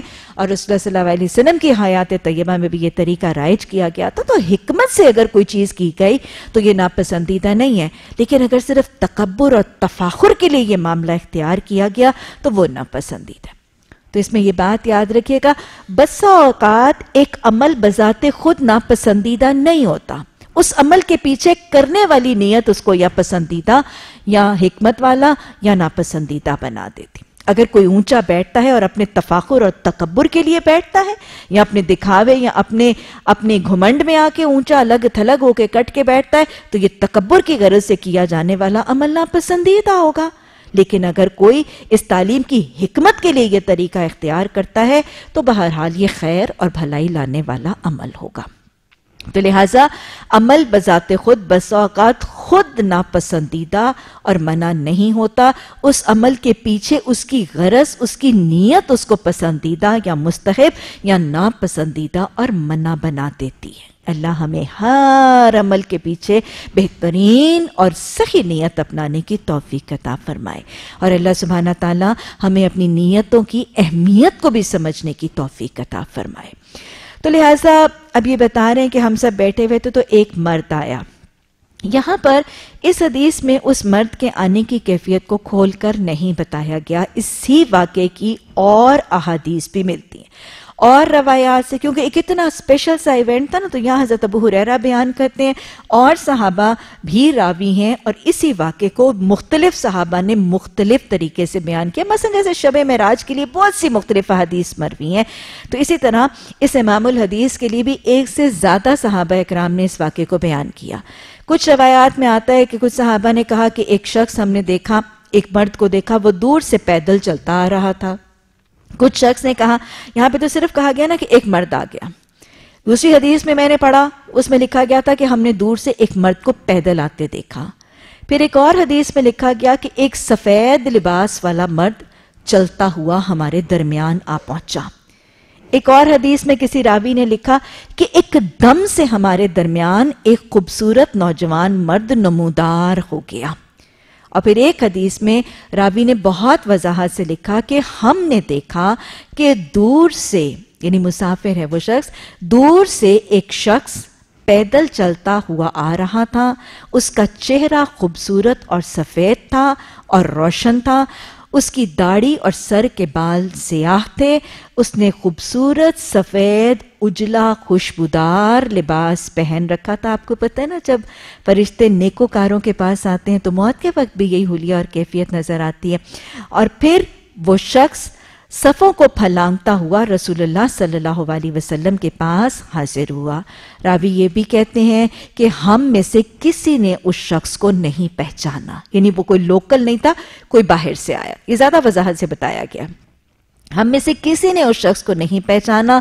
وہ صفوں کو پھلانگتا ہوا رسول اللہ صلی اللہ علیہ وسلم کے پاس حاضر ہوا اور یوں بیٹھا جیسے ہم اپنی نماز کی کیفیت میں بیٹھتے ہیں۔ آپ کو پتا جیسے ہم تشہد کے وقت بیٹھتے ہیں، ویسے اپنے گھٹنوں کو موڑ کے رسول اللہ صلی اللہ علیہ وسلم کے ساتھ بیٹھ گیا اور ابھی پھر یہ بتاتے ہیں، یہاں تک کہ اس کے گھٹنے رسول اللہ صلی اللہ علیہ وسلم کے گھٹنوں سے چھونے لگے اور اس نے آپ صلی اللہ علیہ وسلم کے دونوں گھٹنوں پر اپنے ہاتھ رکھ دیے۔ اس نے پوچھا کیا میں قریب ہو جاؤں؟ آپ صلی اللہ علیہ وسلم نے فرمایا، قریب ہو قریب ہو قریب ہو۔ کوئی اصول کیا ملتا ہے؟ کہ استاد اور شاگرد کے درمیان ایک اچھے تعلیمی ماحول کے لیے دونوں کے درمیان قرب آجزی انکساری، فرما برداری اور عزت اور ادب اور احترام۔ یہ سارے رویے نظر آ رہے ہیں حضرت جبریل امین کے لیے۔ تو یہ رویے ایک اچھے تعلیمی ماحول اور صحبت کے لیے امپورٹنٹ ہے تو یہ یاد رکھیے گا بس اوقات ایک حدیث اور ایک واقعہ ایک ہی راوی کے ذریعے نہیں مختلف اور راویان کے ذریعے آتا ہے۔ اور ان سب کو ملا کے اگر پڑھا جائے تو ایک پورے کا پورا واضح خاکہ جو ہے وہ تیار ہوتا ہے۔ بہرحال یہ حدیث جو ہے، یہ مدنی دور کی حدیث ہے۔ مسجد نبوی میں ایک تعلیمی نشست اور مجلس قائم ہے۔ اس انداز میں جو میں نے آپ کو دوسری احادیث کے حوالے سے بتایا، حضرت جبریل امین تشریف لائے، رسول اللہ صلی اللہ علیہ وسلم کے سامنے حاضر ہوئے۔ اب انہوں نے پہلا سوال کیا کیا؟ اس نے کہا، ایمان کیا ہے؟ سب سے پہلی بات آپ یہ دیکھ لیجیے کہ اس سوال کرنے والے نے تین سوال کیے تھے، ایمان، اسلام اور احسان۔ لیکن سب سے پہلا کیے جانے والا سوال ایمان کے حوالے سے ہے۔ گویا ایمان، اسلام اور احسان دونوں سے افضل کیفیت ہے۔ سب سے زیادہ اہم، سب سے زیادہ افضل اور سب سے زیادہ امپورٹنٹ کیفیت جو ایک مسلمان کے لیے ہے، وہ اس کا ایمان ہے۔ ایمان کی اہمیت بھی پتا چل رہی ہے، اس کی فضیلت بھی پتا چل رہی ہے اور اس کی اللہ کے ہاں پرائرٹی اور ترجیح بھی پتا چل رہی ہے کہ اللہ کے ہاں سب سے بہترین عمل اور سب سے افضل عمل اور سب سے پسندیدہ حالت ایک شخص کی ہے، اس کے ایمان کی حالت میں ہونا۔ اللہ اس کی قدر کرنے، اس کی حفاظت کرنے، اپنے اور اپنے گھر والوں کے ایمان کی نگرانی اور اس کی افزائش کرنے کی بہترین توفیق عطا فرمائے۔ اس سے ایک بات اور بھی چلتے چلتے دیکھیں، فرشتے انسانی شکل میں آ سکتے ہیں۔ یہ بات میں نے پہلے بھی بتائی تھی۔ آپ کو معلوم ہے کہ فرشتے نوری مخلوق ہیں۔ فرشتے نوری مخلوق ہیں، یہ لطیف ہیں اور اپنی لطافت کی بنیاد پر ان کی حالت اللہ کے حکم اور اذن سے بدلی جا سکتی ہے۔ ایک موقع پر نہیں، ایک سے زائد موقعوں پر قرآن کے حوالے سے ہمیں فرشتوں کا انسانی شکل میں آنے کا حوالہ ملتا ہے۔ حضرت ابراہیم علیہ السلام کے پاس فرشتے انسانی شکل میں آئے۔ مہمانوں کے طور پر آئے۔ انہوں نے مہمان نوازی کے لیے بھونا ہوا بچڑا پیش کیا، کھاتے نہیں تھے، ہاتھ نہیں بڑے تھے، تو انہوں نے خوف محسوس کیا۔ بیٹے کی خوشخبری دی انسانی دو نوجوان خوبصورت لڑکوں کی شکل میں حضرت لوت علیہ السلام کے پاس ان کی قوم کی آزمائش کے لیے گئے۔ ہاں ہاتھ بڑھا کے البتہ ان کی آنکھیں موند ضرور دی تھی تھے فرشتے۔ اسی طرح ہاروت اور ماروت کی شکل میں دو فرشتے ہم نے پیچھے ہی پڑھا تھا جہاں ہم نے جادو کے حکامات پڑھے تھے، یہ بھی انسانی شکل میں آئے تھے اور ان کو جادو سکھاتے تھے اور کیا کہتے تھے؟ انما نحن فتنہ، فلا تکفر، کہ ہم تو فتنہ ہے ہم آزمائش ہے تم کفر نہ کرو۔ اسی طرح حضرت مریم علیہ السلام کے پاس بھی جب روح الامین ان کو بیٹے کی خوشخبری دینے کے لیے آئے تھے، تو اللہ سبحانہ تعالیٰ نے ہمیں وہاں پہ آیات میں بتایا تھا کہ انہوں نے کہا تھا کہ تو اللہ کا بندہ ہے، تو بشر ہے اور وہاں خوشخبری دی گئی تھی، تو انسانی شکل میں آئے تھے۔ رسول اللہ صلی اللہ علیہ وسلم کی حیات طیبہ میں آپ کا حضرت جبریل امین کو ان کی اصلی حالت میں دیکھنے کے دو واقعات اور انسانی شکل میں دیکھنے کے واقعات بھی موجود ہیں اور یہ واقعہ ان میں سے ایک ہے۔ فرشتے انسانی شکل میں حاضر ہوتے ہیں۔ یہ سب اللہ کے اذن اور حکم سے ہوتا ہے۔ اب حضرت جبریل امین کا یہ سوال کرنا کہ ایمان سب سے پہلے کہ ایمان کیا ہے، یہ ایمان کی اہمیت کو وضع کر رہا ہے۔ اور ایمان کی کیفیت میں آپ نے جواب کیا دیا۔ ویسے بھی دیکھیے، آپ صلی اللہ علیہ وسلم سے جب کوئی علم کے حوالے سے سوال کرتا ہے، آپ اس کا ہر نشست میں جواب دیتے ہوئے نظر آتے ہیں۔ کیونکہ حدیث کے الفاظ کیا ہیں؟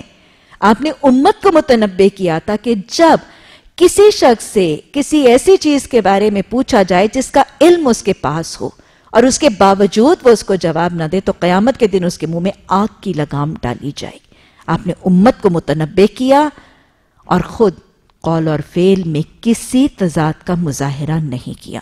اگر ہمیں متنبع کیا ہے تو جب آپ سے بذات خود سوال کیا گیا، آپ نے ہر اس سوال جس کا علم آپ کے پاس تھا، آپ نے اس سوال کا جواب دیا۔ اور جس کا علم آپ کے پاس نہیں تھا، آپ نے فرما دیا لادری اور وہی کا انتظار کر کے اس کا جواب دیا۔ اصول کیا ہے سنت کا؟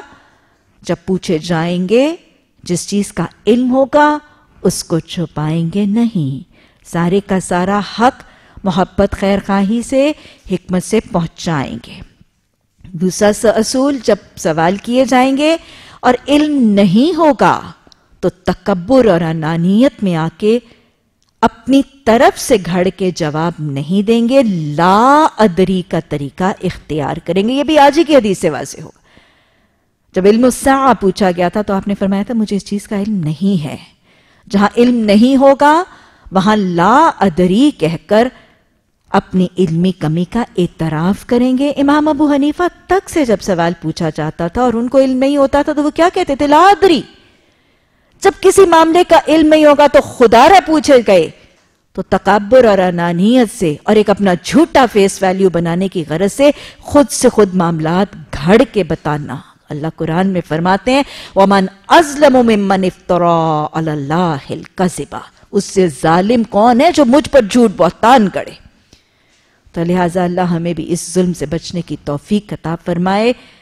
ہمیں صرف وہ کہنا ہے جس کا علم، واضح قرآن، حدیث اور سنت کے حوالوں اور دلیل سے ہم تک پہنچ چکا ہے۔ اور جب نہیں آتا، علمی کمی کا اعتراف بھی کرنا ہے اور پھر محنت، کوشش اور صحیح سے صاحب علم اور کتابوں سے استفادہ حاصل کر کے اس علمی کمی کو دور کرنے کی کوشش بھی کرنی ہے تاکہ اگلی نشست میں مجھے لا ادری نہ کہنا پڑے۔ اللہ حصول علم کا سفر میری لہت تک میرے لیے آسان کر دینا۔ تو لہٰذا ایمان کے بارے میں پوچھا گیا، آپ نے سنت کی تعلیمات کے مطابق جواب دیا۔ آپ نے کیا جواب دیا؟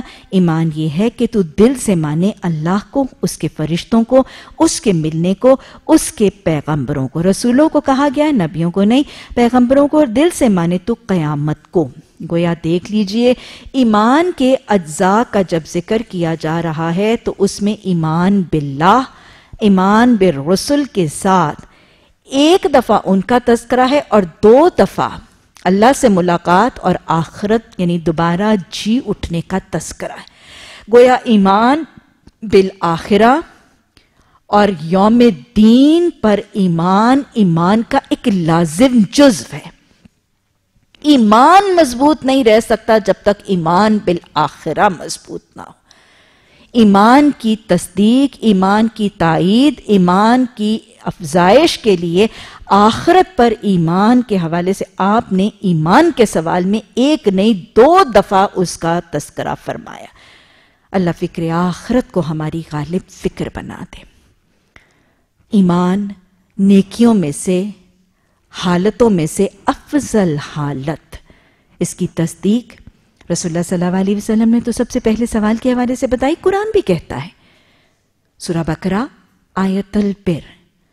لیس البر بأن تولوا وجوهكم قبل المشرق والمغرب ولكن البر من آمن بالله واليوم الآخر وملائكته والكتاب والنبيين تو گویا آیت البر میں سے بھی جو نیکیوں کا تصور بتایا گیا، اس میں سے پہلی نیکی پھر کیا ہے؟ ایمان۔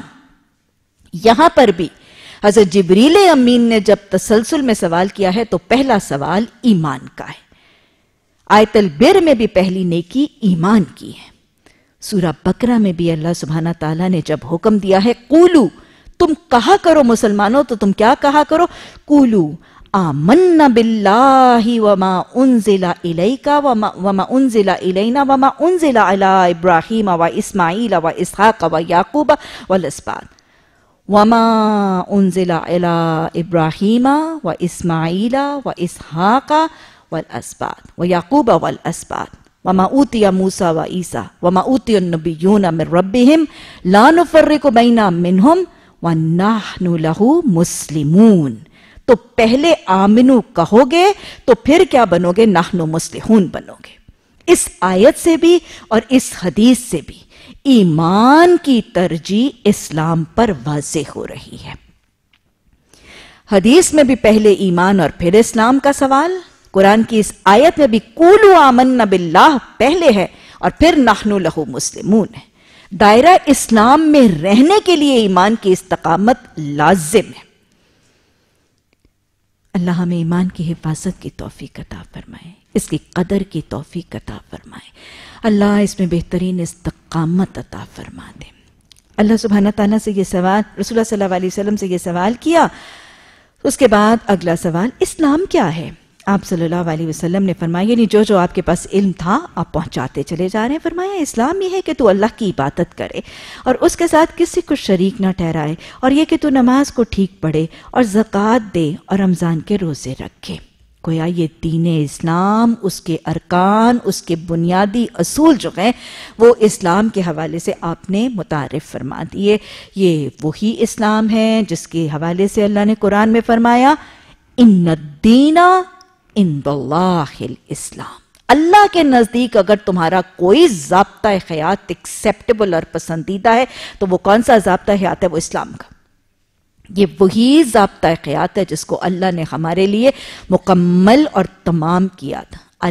الیوم اکمل لکم دینکم۔ یہ وہی دین ہے جو اللہ کے نزدیک پسندیدہ ہے۔ یہ وہی دین ہے جس کے لیے اللہ نے فرمایا تھا، رضیت لکم الاسلام دینا میں تمہارے لیے اس دین اسلام کو پسند کرتا ہوں۔ میں تمہارے لیے اس دین اسلام اور اس ضابطہ حیات کو پسند کرتا ہوں۔ اور اللہ نے قرآن میں بتایا تھا کہ جو اس ضابطہ حیات کے علاوہ، اس سسٹم آف لائف کے علاوہ اگر کوئی ضابطہ حیات لائے گا، اللہ نے قرآن میں فرمایا وَمَن يَبْتَغِ غَيْرَ الْإِسْلَامَ دِينَ فَلَا يُقْبَلَ لَهُ۔ جو اسلام کے علاوہ کوئی اور سسٹم آف لائف لے کے آئے گا، کوئی اور کوڈ آف لائف لے کے آئے گا، وہ اس سے قبول ہی نہیں ہوگا۔ اگر امن، اگر ایمان اسلام کی حالت کے علاوہ عمل ہوگا، فلا یقبل اللہ نے فرما دیا، وہ قبول نہیں ہوگا۔ تو لہٰذا یہی وہ دین ہے دین اسلام جو ایمان کے بعد جس کے حوالے سے سوال کیا گیا اور یہی وہ دین اسلام ہے جس پر قائم ہونے کا سوال حشر قبر میں بھی کیا جائے گا۔ کیا سوال؟ تمہارا رب کون تھا؟ تمہارا رسول کون تھا؟ اور تمہارا دین کون سا تھا؟ دین کون سا تھا؟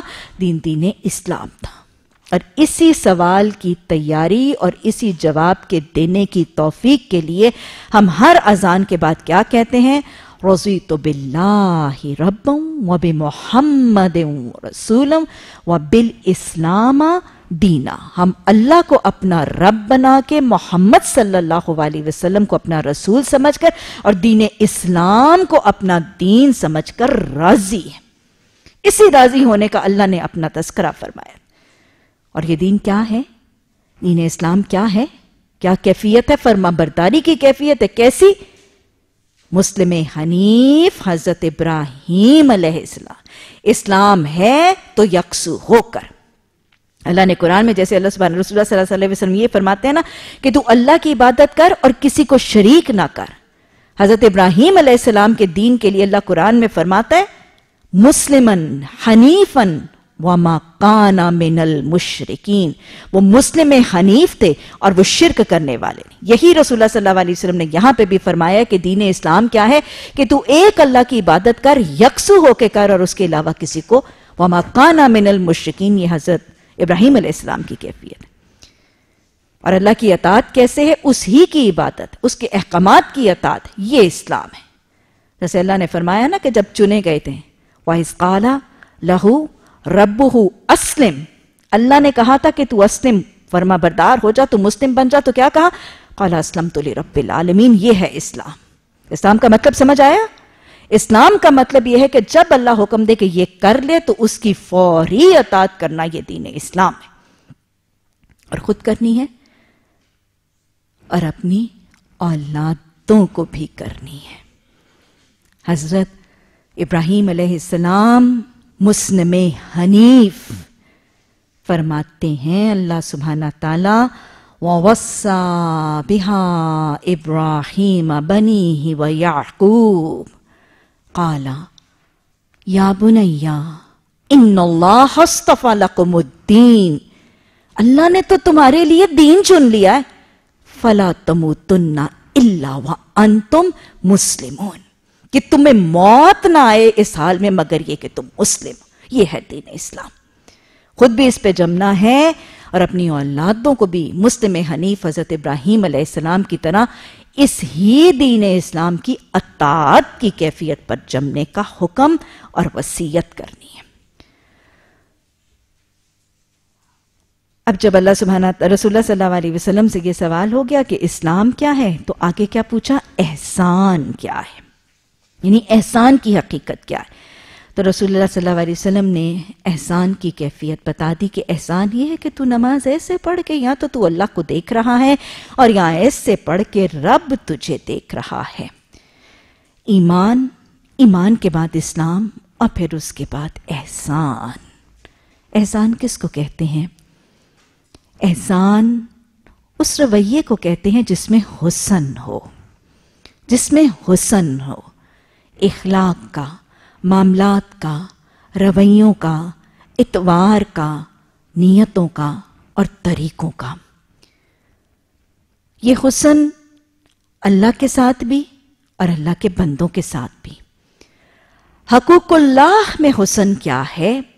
وہ یہاں پہ احسان کی شکل میں بتائے اللہ کے حقوق کی ادائیگی میں احسان کیا ہے؟ حقوق اللہ میں پہلا حق جس کا سوال ہے وہ کیا ہے؟ نماز۔ تو حقوق اللہ میں احسان کا طریقہ نماز میں حسن کا طریقہ ہے۔ ربی آئینی اللہ ذکر کا و شکر کا و حسن عبادتک۔ اللہم ارنا اللہم ارنا مناسکنا و تب علینا انکا انت التواب الرحیم۔ تو اللہ کے حقوق کی ادائیگی میں احسان اس کے نماز کا حکم۔ اس کے نماز کا طریقہ کہ تو نماز ایسے پڑھے کہ تو اللہ کو دیکھ رہا ہے یا کم از کم تجھے وہ دیکھ رہا ہے۔ یہ وہی ہے نا جو اللہ سبحانہ تعالیٰ نے فرمایا انت صلاتا لقبیرتن اللہ علی نماز بھاری ہے، ان لوگوں پر بھاری نہیں ہے جو خوشو کرتے ہیں۔ خوشو کرنے والے کون سے ہیں؟ یہ ہے محسن۔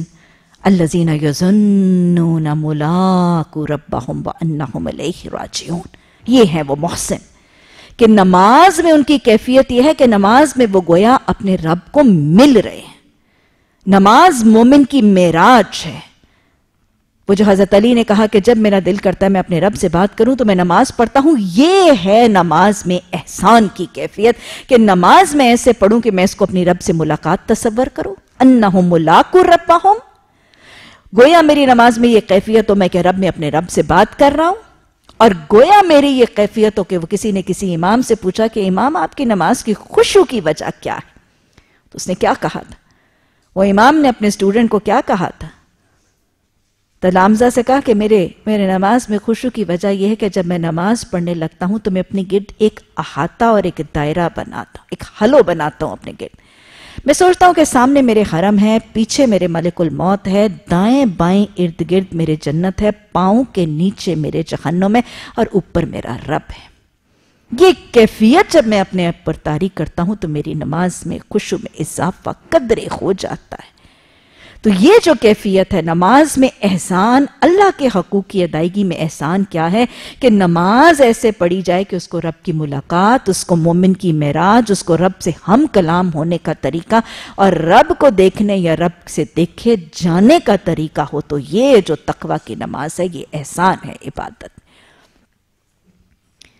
اور ویسے حقوق العباد میں احسان اخلاق میں حسن ہے۔ اخلاق کا حسن، معاملات کا حسن، رویے میں حسن، لہجے میں حسن، طور اور طریقوں اور ڈیلنگز میں حسن، یہ حقوق العباد کا حسن ہے۔ اور حقوق العباد کا حسن کیا ہے؟ اپنے فرض سے بڑھ کے کرنا، دوسرے کو اس کے حق سے زیادہ دینا۔ محض اللہ کی رضا کے لیے کرنا اور یا محض دوسرے کو سکون اور راحت فراہم کرنے کے لیے کوئی بھلائی کرنا۔ یہ ہے احسان۔ اللہ سبحانہ تعالیٰ ہمیں محسن بنائے، احسان کرنے کی توفیق عطا فرمائے اور اللہ احسان کرنے والا بنائے، احسان جتا کر اس کو ضائع کرنے والا نہ بنا دے۔ اس کے بعد جی اگلا سوال پوچھا گیا کہ قیامت کب ہوگی؟ رسول اللہ صلی اللہ علیہ وسلم نے فرمایا کہ پوچھنے والا جواب دینے والے سے زیادہ نہیں جانتا۔ گویا آپ نے کیا کہا؟ لا ادری۔ آجزی سادگی انکساری تکبر کی نفی، انانیت کا خاتمہ۔ سوال نہ آئے، لادری کہہ دیجیے، علم اضافے کی کوشش کیجیے۔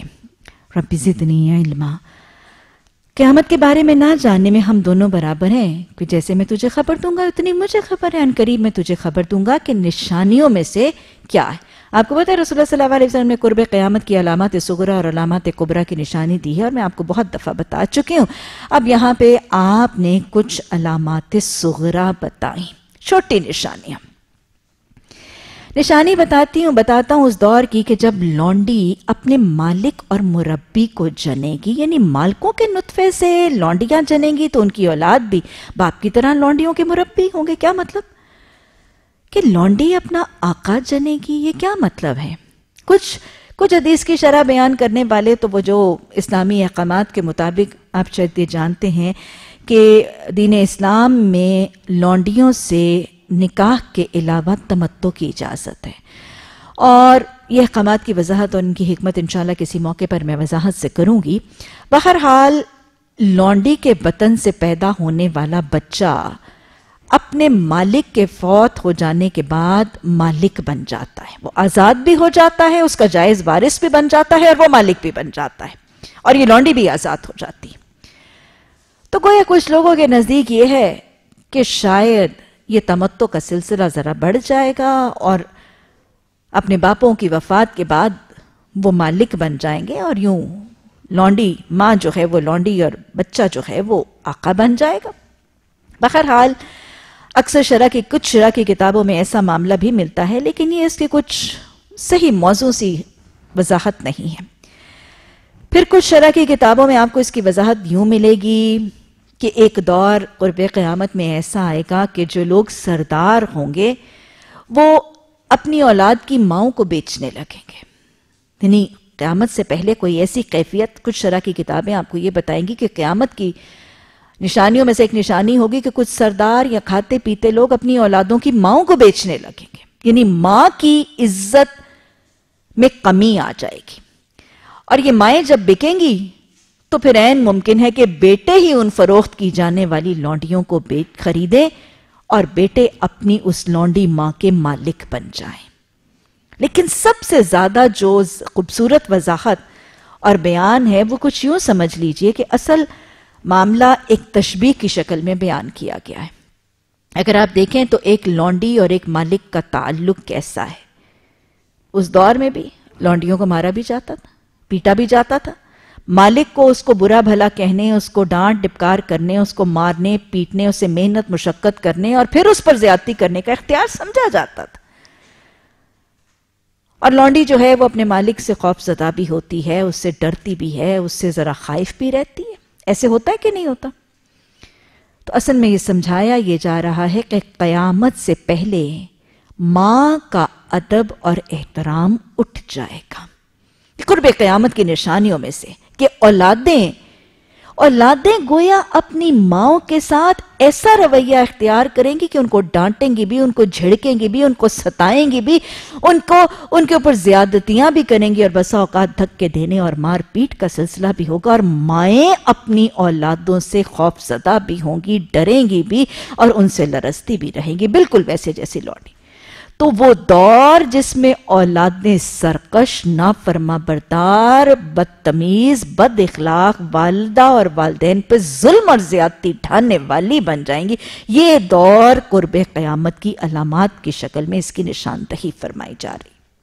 اور دوسری علامت جو آپ نے بتائی کہ وہ جو سیاہ فام، وہ جو سیاہ فام وہ چرواہے ہوں گے سیاہ فام چروائے یعنی بالکل جاہل اجڈ گوار، لا علم لوگ جو ہیں وہ اونچی اونچی عمارتیں بنائیں گے اور آپس میں اس پہ تفاخر کریں گے۔ گویا قرب قیامت کی نشانیوں میں ایک نشانی دنیا کی محبت ہے، دوسری نشانی تکبر اور باہمی تفاخر کا بڑھ جانا ہے اور تیسری نشانی علم کا اٹھا لیا جانا ہے اور لا علم اور جاہل لوگوں کو حکومتیں عہدے، اقتدار سونپ دیا جانا ہے۔ گویا حدیث میں استعارے اور تشبیح کے ذریعے تین چار باتیں قرب قیامت کے طور پر بتائی گئیں کہ ایک تو باہمی تکبر ہونے لگے گا اور یہ تکبر کرنے والے بنیادی طور پر لا اہل ہوں گے۔ بنیادی طور پر یہ تکبر اور تفاخر کرنے والے نا اہل بھی ہوں گے۔ حکومت، عہدے، عزتیں، اقتدار، معاشرتی درجے، یہ لا علموں نا اہلوں جاہلوں اور متقبروں کو سونپ دیے جائیں گے۔ یہ وہی ہے جو حدیث میں ایک اور جگہ آتا ہے نا، قلم عام ہوگا لیکن علم اٹھا لیا جائے گا۔ ایک اور حدیث میں آتا ہے، آپ صلی اللہ علیہ وسلم نے فرمایا، قرب قیامت سے پہلے لوگ اپنے علم کے حصول کے لیے جاہلوں کے پاس جائیں گے۔ گویا دینی سربراہ، دینی عالم، فقہا، مفتیان بھی لا علم لوگ بن جائیں گے۔ جاہل جو ہے وہ بھی دین کا علم امپارٹ کرنے لگیں گے۔ تو یہ قرب قیامت کی ایک نشانی ہے۔ آپ صلی اللہ علیہ وسلم نے دو نشانیاں متفرق طور پر آپ صلی اللہ علیہ وسلم نے جو ایکسپلین کی اور پھر آپ صلی اللہ علیہ وسلم نے وہ قرآن کی آیت پڑھی۔ ان اللہ علم کہ نہ میرے پاس ہے، نہ آپ کے پاس ہے، اللہ ہی کے پاس اس گھڑی کا علم ہے۔ اس کے بعد راوی بتاتے ہیں کہ یہ علمی نشست کے بعد ایمان، اسلام اور پھر اسلام کے بعد احسان کی کیفیت اور پھر قیامت اور قیامت کی علامات کی اس علمی نشست کے بعد حضرت جبریل امین پلٹ گئے اور پھر جب آپ صلی اللہ علیہ وسلم نے دیکھا کہ وہ شخص غائب ہو گئے جو سوال نشستوں کے لیے حاضر ہوئے تھے تو آپ نے کہا کہ ان کو واپس لاؤ۔ اور روایت میں آتا ہے کہ حضرت عمر فرماتے ہیں کہ پھر ہم سب نے مل کے اس شخص کو تلاش کرنے کی کوشش کی، لیکن اس شخص کا سراغ نہیں ملا۔ اب صلی اللہ علیہ وسلم کو اس چیز کی خبر دی گئی کہ آپ روانہ ہو چکے ہیں۔ تو اس پر ہمیں روایات سے پتہ چلتا ہے کہ آپ صلی اللہ علیہ وسلم نے فرمایا، یہ جبریل امین تھے جو تم کو دین سکھانے آئے تھے۔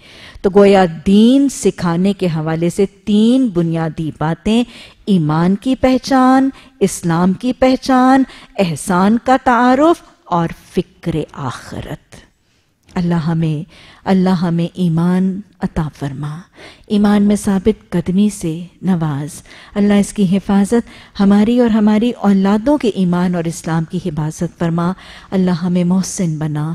اللہ ہمارے اخلاق میں، ہمارے معاملات میں، ہمارے قول و فعل میں اور اللہ سب سے بڑھ کے ہماری عبادات میں حسن عطا فرما۔ اللہ محسن بنا۔ احسان کر کے جتا کر، ضائع کرنے والا یا ریا کر کے ضائع کرنے والا نہ بنا۔ جانا اللہ سبحانہ تعالیٰ، اللہ اللہ آخرت کی فکر عطا فرما۔ اللہ سبحانہ تعالیٰ فکر آخرت کو ہمارا غالب فکر بنا دے۔ ربنا ربنا لا تزغ قلوبنا بعد إذ هديتنا وهب لنا من لدنك رحمة إنك أنت الوهاب۔ اللهم انفعني بما علمتني وعلمني ما ينفعني وزدني علما۔ سبحانك اللهم وبحمدك نشهد أن لا إله إلا أنت نستغفرك ونتوب إليك سبحان ربك رب العزة عما يصفون وسلام على المرسلين والحمد لله رب العالمين آمين ثم آمين